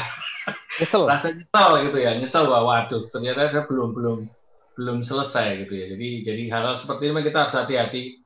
Itu sebetulnya hanya sebagai anu saja sebetulnya uh, oh ya sudah. Kalau hanya sebagai track oke. Okay. tapi kalau itu sebagai oh ini sudah ya sudah selesai ya. Wah itu hati-hati. Ya jangan sampai kita terpancing karena emosi karena capek. Kadang-kadang kan frontal itu itu membuat kita itu seperti waduh ya gimana? gitu ya.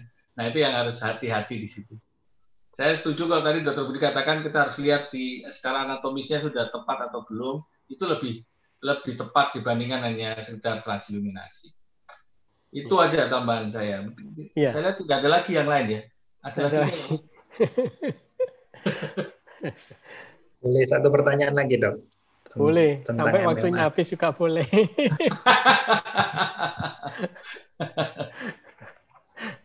uh, seperti yang disampaikan Dr. Budi di sesi pertama dan kedua bahwa kalau kita melakukan MMA itu kan kita melebarkan ke posterior kemudian ke inferior. Jadi lebih ke arah inferior, tidak tidak ke arah superior untuk untuk meruntuhkan dinding medial dari sinus maksila.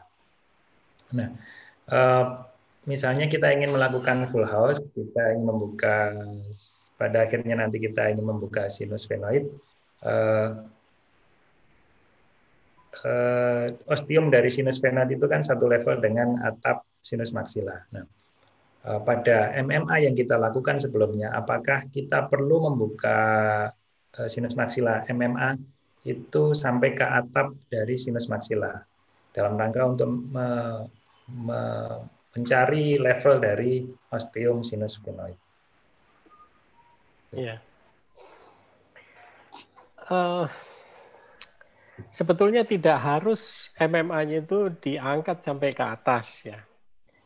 Tapi nanti pengertiannya begini. Intinya begini, kalau atap dari sinus maksila itu sudah bisa kita identifikasi, maka itu bisa kita tarik garis imajiner bahwa itu atap dari sinus maksila dan terus kita teruskan ke posterior atau kita teruskan ke lateral. Namanya maxillary ridge. Jadi cukup seperti itu.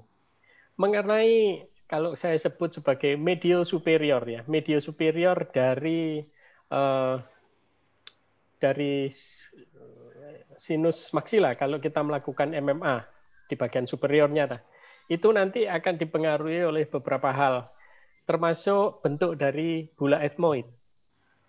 Termasuk jika kita menjumpai Haller cell, termasuk kita kalau menjumpai supramaxillary cell, maka yang eh, batas normal dari dinding anterior yang di sudutnya dekat lamina papiracea, lamina papiracea, terus ke atap dari sinus maxilla ini akan bervariasi bentuknya.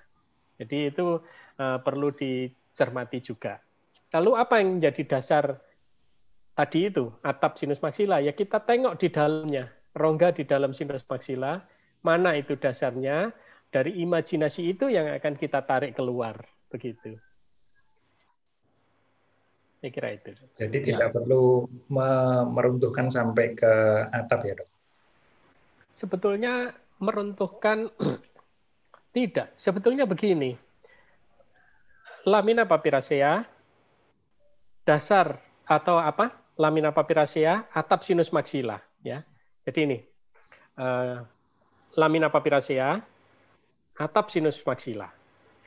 Pas di pojok ini, pojok ini, ini bervariasi. Sebetulnya ini bukan yang kita angkat, tapi yang kita angkat di sini adalah sel-sel yang ada di sini. Misalnya perlekatan bula etmoid, misalnya ada uh, istilahnya uh, lacrimal cell mungkin, kemudian ada agernasi sel. Agernasi sel itu uh, dia apa namanya bisa berada di area sini, tapi juga bisa meluas sampai ke ke ke superior keluar dari uh, apa namanya keluar dari area orbita. Jadi semoga tidak membingungkan. ya, terima kasih Dr. Budi. Ya. Ini ada pertanyaan dari Dokter Tanto ya. Cuman ini agak agak melebar karena bukan kita bukan bicara. Tapi apa, monggo nanti Dokter Budi bisa menjawab ya.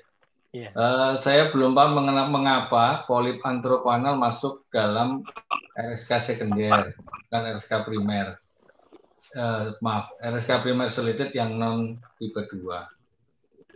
Monggo, Dokter Budi. Iya, terima kasih, Dokter Tanto saya sebetulnya juga tidak sepenuhnya memahami, tetapi koanal polip ya dikoreksi oleh Prof Kadar ya saya tidak boleh menyebutkan antrokonal polip karena kalau menyebutkan antrokonal polip berarti limited koanal polip yang dari antrum. Padahal koanal polip bisa dari sphenoid, bisa dari ethmoid, tapi ethmoid jarang ya. Yang sering adalah antrum sama uh, sphenoid. Ya. Bahkan frontal bisa, frontal. Nah, koanal polip ini dia patogenesisnya, patofisiologinya berbeda, Dokter Tanto. Jadi hipotesisnya banyak. Ya. Konal polip ini bisa karena uh, hipotesisnya misalnya yang paling gampang misalnya ada osteum aksesori, sehingga di situ timbul uh, fenomena resirkulasi. Dan akibat adanya fenomena resirkulasi itu timbul secondary inflamasi di sekitarnya. Dan akhirnya memunculkan koanal polip tadi, karakter koanal polip. Itu satu. Yang kedua, hipotesisnya uh, di tengah rai ada sumbatan ya. Sumbatan dari kelenjar uh, submukosa. Kelenjar submukosa ini mengalami sumbatan sehingga dia uh, menggembung seperti itu. Ya. Kemudian uh, ada lagi teori ya, belum terlalu lama mungkin 2014 atau 2015 disebutkan teorinya obstructive uh, lymphatic system. Jadi ada bendungan sistem limfa yang sifatnya isolated di titik tersebut. Jadi karena itu dianggap bahwa sebetulnya koanal polyp ini bukan true mucosal disease. Dia murni tumbul seperti itu. Dia menimbulkan secondary sinusitis, iya. Ya. Sehingga mungkin itu alasannya kenapa uh, koanal polip ini dimasukkan di secondary uh, chronic rhinosinusitis yang tidak memerlukan medikamentosa karena dia langsung dilakukan uh, surgical ya. Pilihannya adalah surgery. Jadi seperti itu. Mohon maaf saya mm, lebih dalam lagi juga tidak uh, memahami dokter Tanto. Ya. Semoga itu cukup menjawab. Ya. Ya, terima kasih Dr. Budi. Ini ada pertanyaan dari Prof. Abdul Qadar ini. Selamat sore, Prof. Yes. Wah, sore, Prof. Masa juga sore ya. Selisih satu jam ya. Bagaimana dengan frontal frontal trepanasi plus kontras dengan kontras? Apakah Dr. Budi biasa melakukan pada kasus operasi revisi sinus frontal? Oke, monggo. Terima kasih, Prof. Ya. Saya belum pernah melakukan trepanasi atau mini trepanasi, baik itu insisi kilian maupun riddle atau yang lain. Jadi belum punya pengalaman, Prof. Ya. Untuk frontal recess blockage, ya, terutama di daerah ostium sinus frontal pada kasus revisi surgery ini memang uh, sulit ya. Kalau ya kita coba buka. Kita coba buka, kemudian kita berikan medikamentosa post-op yang bagus ya. Biasanya saya tetap menggunakan, kalau kasusnya non-type 2, saya tetap memaksakan menggunakan lodus macrolide, Prof. Pasca operasi, satu. Kedua, saya tetap melakukan uh, irigasi uh, apa namanya budesonide edit nasal irrigation jadi 240 ml nasal saline dicampur dengan 1 mg budesonide respul pulmicot seperti itu Prof. Dan kalau itu gagal, memang tidak perlu direvisi lagi karena biasanya akan gagal lagi. Biasanya perlu dilakukan draft 3. Jadi pun kalau kita akan melakukan trepanasi, Prof, eh, kita harus menjamin bahwa frontal peak itu harus bisa diruntuhkan. Apakah dengan trepanasi itu uh, frontal peak bisa diruntuhkan atau tidak? Kalau tidak, mungkin uh, penambahan prosedur ya ini biasanya istilahnya combine, combine ekstra dan intra. Uh, prosedur ini juga tidak terlalu banyak membantu logikanya. Karena intinya revisi sinus frontal yang disebabkan oleh stenosis sinus frontal dipenuhi oleh jaringan fibrotik itu logikanya harus dibuka betul-betul selebar mungkin. Dan prosedur yang uh, rasional untuk ini sebetulnya draft 3. Jadi salah satu indikasi draft 3 itu untuk revisi uh, sinus frontal. Ya. Mungkin itu Dr. Irwan. Ya, Mudah-mudahan menjawab ya Prof. Mudah-mudahan menjawab. Saya sendiri tidak punya pengalaman banyak, Dr. Budi. Lama, jauh lama sekali, sudah lebih dari hampir 10 tahun yang lalu kayaknya ya masih lama-lama sekali itu ya waktu ada beberapa dan sebetulnya kita juga mirip sebetulnya saya juga melakukan trepanasi begitu itu juga kasusnya kalau salah juga itu revisi ya. Kita tahu sendiri pada waktu 15 20 tahun yang lalu teknik fast itu kan belum ada ya. Jadi PE segala itu Tom itu kan banyak dengan secara blind ya. Hmm. ya waktu itu banyak blind. Jadi artinya seingat saya dulu waktu itu kan endoskopi kan belum belum berjalan bagus ya di Surabaya. Sehingga pada waktu revisi juga saya mengerjakan itu ya dengan trepanasi, kemudian mirip-mirip kayak draft 2 B, tapi rasanya juga nggak pas. Saya juga nggak yakin itu, itu 2B atau bukan. Nah waktu itu kan tidak bisa dievaluasi dengan endoskopi ya. Jadi rodo-rodo ya apa gitu. Ya sama teman-teman dari Unku waktu itu mengerjakannya. Jadi ya itu rasanya nggak bener gitu. Saya lebih setuju kalau memang lengkap itu ya kita ngerjakan ya draft 3 gitu ya. Apalagi kalau sudah revisi. Sulit memang kasusnya. Sudah stenosis gitu, kita buka pun lihat, waduh ini mana ini anunya susah. Padahal sudah dari sudah jelas dari eksternal itu ya. Hmm.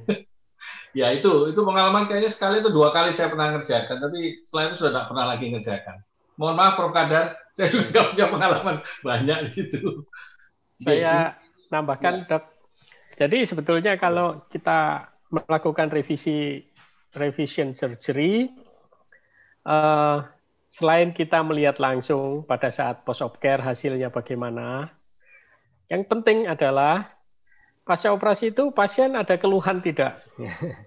Ya, betul, Kalau betul. keluhan pasien itu sudah teratasi, bagaimanapun penampakan uh, nasal endoskopi hmm. durante post op care itu jangan jadi masalah. Tetapi kalau pasien itu masih ada keluhan, maka perlu dipikirkan untuk re-revision surgery lagi.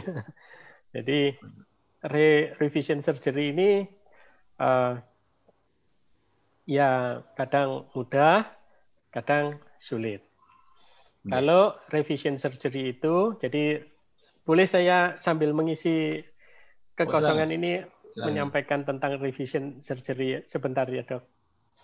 Jadi revision surgery itu satu karena problem operator. Itu harus kita sadari. Problem operator jadi karena incomplete surgery atau imperfect surgery. Incomplete surgery Berarti ada retain structure. Ada struktur-struktur termasuk sel yang tertinggal. Tidak terangkat pada saat melakukan primary surgery. Kemudian imperfect surgery. Imperfect surgery jika kita melakukan tidak mengikuti kaidah fungsional. Jadi banyak kita melakukan stripping mukosa, mungkin karena tekniknya salah, mungkin karena pemakaian alat yang salah gitu. Jadi akhirnya imperfect surgery. Itu satu. Kedua dari sisi pasien. Dalam hal ini dari sisi post op care, bukan dari pasien aja, dari sisi post op care. Dari sisi post op care kita bisa melihat dari sisi pasien mau dari sisi operator kembali. Dari sisi pasien, pasiennya diminta kontrol nggak datang. Jadi pasiennya tidak tertib pasiennya tidak tertib menggunakan medikamentosa yang kita sarankan. Itu dari post op care dari sisi pasien. Post op care dari sisi operator. Post op care dari sisi operator, kemampuan operator dalam melakukan post op care secara baik itu kurang. Misalnya demikian. Atau waktu anu ya, office prosedurnya kurang. Atau eh, pemberian medikamentosa pasca operasi yang misalnya kurang tepat, misalnya demikian. Itu dari sisi post op care-nya. Yang ketiga dari disease itu sendiri. Nah, kalau sudah dari disease itu sendiri, maka ini agak kesulitan. Misalnya pasien-pasien eh, terutama yang eh, mudah recurrent itu atau residif adalah primary CRS type 2. Jadi kalau sudah mendapatkan primary CRS type 2 ada comorbid asma, ada comorbid uh, eh, NSID exacerbation respiratory disease, maka ini ya memang sak bagus-bagusnya operasi, sak bagus-bagusnya post op care, disease-nya itu memang akan cenderung liar dia, cenderung untuk recur. Jadi kira-kira seperti itu. Nah, kalau kita melakukan revision surgery, contoh pada problem operator antara imperfect dan incomplete. Ya. Kalau incomplete berarti ada retain structure, ada sel yang tertinggal, ada struktur yang tertinggal misalnya. Itu masih lebih mudah. Artinya yang kita hadapi sebetulnya boleh dikatakan primary mucosa. Dan kita hanya mengangkat bagian yang tertinggal tadi. Begitu. Sehingga resiko penyembuhannya tetap prognosisnya baik. Tetapi kalau kita berhubungan dengan imperfect surgery, karena stripping mucosa sebelumnya banyak misalnya, dan di situ dipenuhi oleh jaringan fibrotik yang luas, maka revision surgery pada kondisi ini sangatlah sulit. Ini harus diinform consent, harus melakukan information for consent pada pasien bahwa tingkat kegagalannya tinggi. Karena yang kita hadapi itu bukan primary mucosa, tetapi yang kita hadapi adalah uh, fibrotic tissue. Fibrotic tissue tends to recur, jadi dia akan cenderung untuk muncul kembali. Jadi itu yang harus kita uh, cermati bahwa tidak semua revision surgery itu selalu hal yang sulit. Seperti itu. Kedua momoknya untuk revision surgery secara umum adalah kehilangan landmark.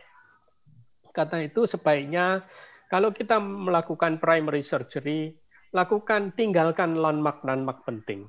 Kalau harus mengangkat konkamedia, angkatlah tapi dengan meninggalkan landmark asila.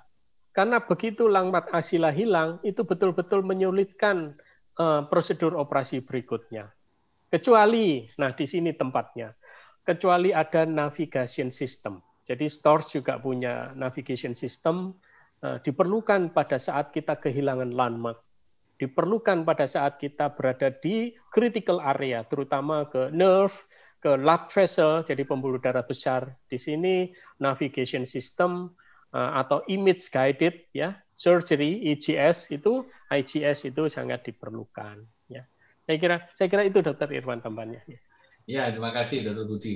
Ya, saya pikir kita sudah cukup komplit ya membahasnya dan bagian akhir kita juga sedikit menyinggung tentang revision tentang revision.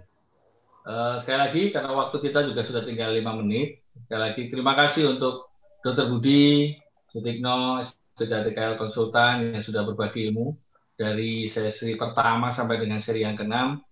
Dr. Muhammad Reza Mardika yang sudah menemani juga juga menambahkan. Terima kasih untuk uh, apa info-info kadang-kadang literatur yang baru. Terima kasih Dr. Reza.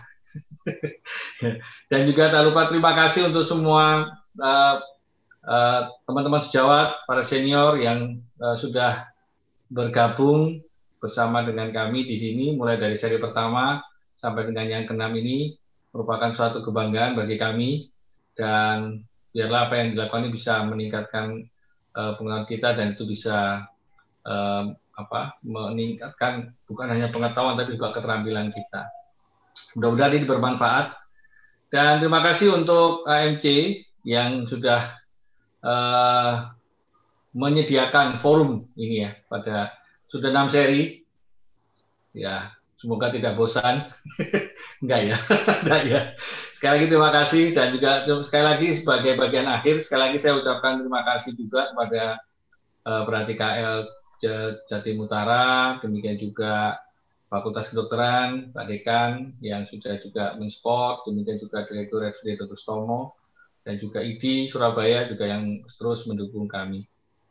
Uh, terima kasih dan uh, saya akhiri pertemuan pada sore hari ini. Bila ini semua kita bisa menjadi berkah untuk kita semua. Terima kasih saya kembalikan kepada Mbak Dea.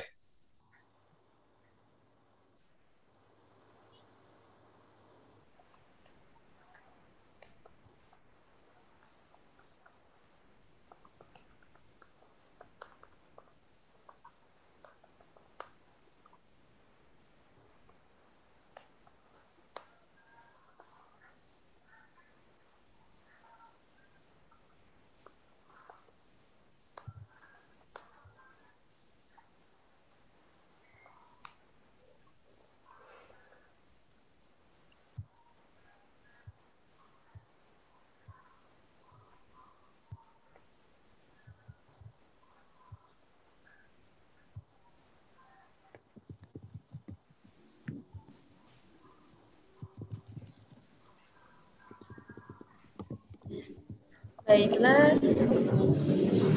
terima kasih kepada Dr. Budi Sutikno, spesialis THT KL Konsultan, Dr. Irwan Kristiono, spesialis THT KL Konsultan, dan Dr. Muhammad Reza Mahardika, spesialis THT KL. Semoga materi yang disampaikan bermanfaat untuk kita semua. Sebelum saya tutup acara webinar,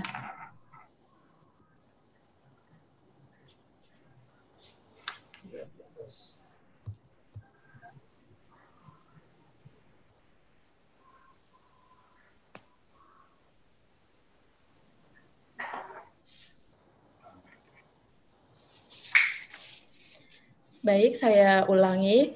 Mohon maaf tadi ada kesalahan teknis. Terima kasih kepada Dr. Budi Sutikno, spesialis THTKL konsultan, kepada Dr. Irwan Kristiono, spesialis THTKL konsultan, dan Dr. Muhammad Reza Mahardika, spesialis THTKL. Semoga materi yang disampaikan bermanfaat untuk kita semua. Sebelum saya tutup acara webinar terakhir ini, saya ingin menyampaikan beberapa hal. Yang pertama, uh, terdapat tiga e-book dokter to dokter manual atau silver book dari CalSource yang akan dikirimkan melalui email peserta bersamaan dengan sertifikat. Selanjutnya, yang kedua ada special offer khusus peserta webinar yaitu diskon 50% untuk produk sebagai berikut. Yang pertama ada teleskop fast, kemudian ada paket Telepack XLED plus teleskop 0 derajat, Selanjutnya ada Basic Fast. Dan yang terakhir ada paket Telepack XLED dengan Basic Fast. Di mana special offer ini, uh, ini penjabarannya. Yang pertama teleskop fast ini terdiri dari teleskop fast, uh, teleskop 0 derajat, 30, 45, dan 70 derajat. Bisa dipilih oleh peserta Selanjutnya untuk telepex SLED dan teleskop 0 derajat terdiri dari teleskop 0 derajat dan uh, kamera sistem portable yang sudah include dengan head camera dan light cable. Terus kemudian untuk special offer basic fast instrument terdapat 16 instrumen plus cleaning agent dan tray. Dan yang terakhir ada paket telepex LED dengan basic fast uh, dengan rincian 16 instrumen, cleaning agent dan tray, dan kamera sistem yang sudah include dengan head camera dan light cable-nya. Terdapat juga promo cicilan 7 kali dan 12 kali dengan syarat dan ketentuan berlaku. Untuk info lebih lanjut dapat menghubungi saya, Dea, di nomor 0822 9785 1045 atau peserta dapat uh, mengisi pada form feedback jika berminat untuk special offer diskon 50% ini. Selanjutnya, saya ingin menyampaikan rasa terima kasih saya dari pihak PT Advance Medicare Corpora kepada Perhati KL cabang Jatim Utara, kemudian terima kasih saya kepada SMS SMF Fakultas Kedokteran Universitas Airlangga, dan speaker webinar seri kuliah online bedah sinus endoskopik fungsional dasar, yaitu Dr. Budi, Dr. Irwan, dan Dr. Reza. Semoga keenam webinar yang sudah terlaksana ini bermanfaat untuk saya dan para peserta webinar hari ini. Bagi peserta webinar yang telat masuk atau tidak dapat mengikuti webinar, dapat melihat siaran ulang pada channel YouTube Advance Medicare Corpora kami sangat mengapresiasi para peserta untuk mengisi feedback pada form feedback yang akan muncul ketika acara webinar ini selesai. Kemudian dapat klik continue untuk memasuki form feedback. Feedback dari peserta sangat berguna bagi kami untuk menjadi lebih baik lagi. Terima kasih kepada para peserta yang telah menyempatkan untuk hadir. Sampai ketemu di lain kesempatan. Saya Dea izin pamit. Selamat siang. Assalamualaikum warahmatullahi wabarakatuh. Waalaikumsalam warahmatullahi wabarakatuh. Terima kasih Dr. Irwan, Dr. Esa, Mbak Dea, Pak Cepi, Mas Garil, tim MC semuanya. Terima kasih.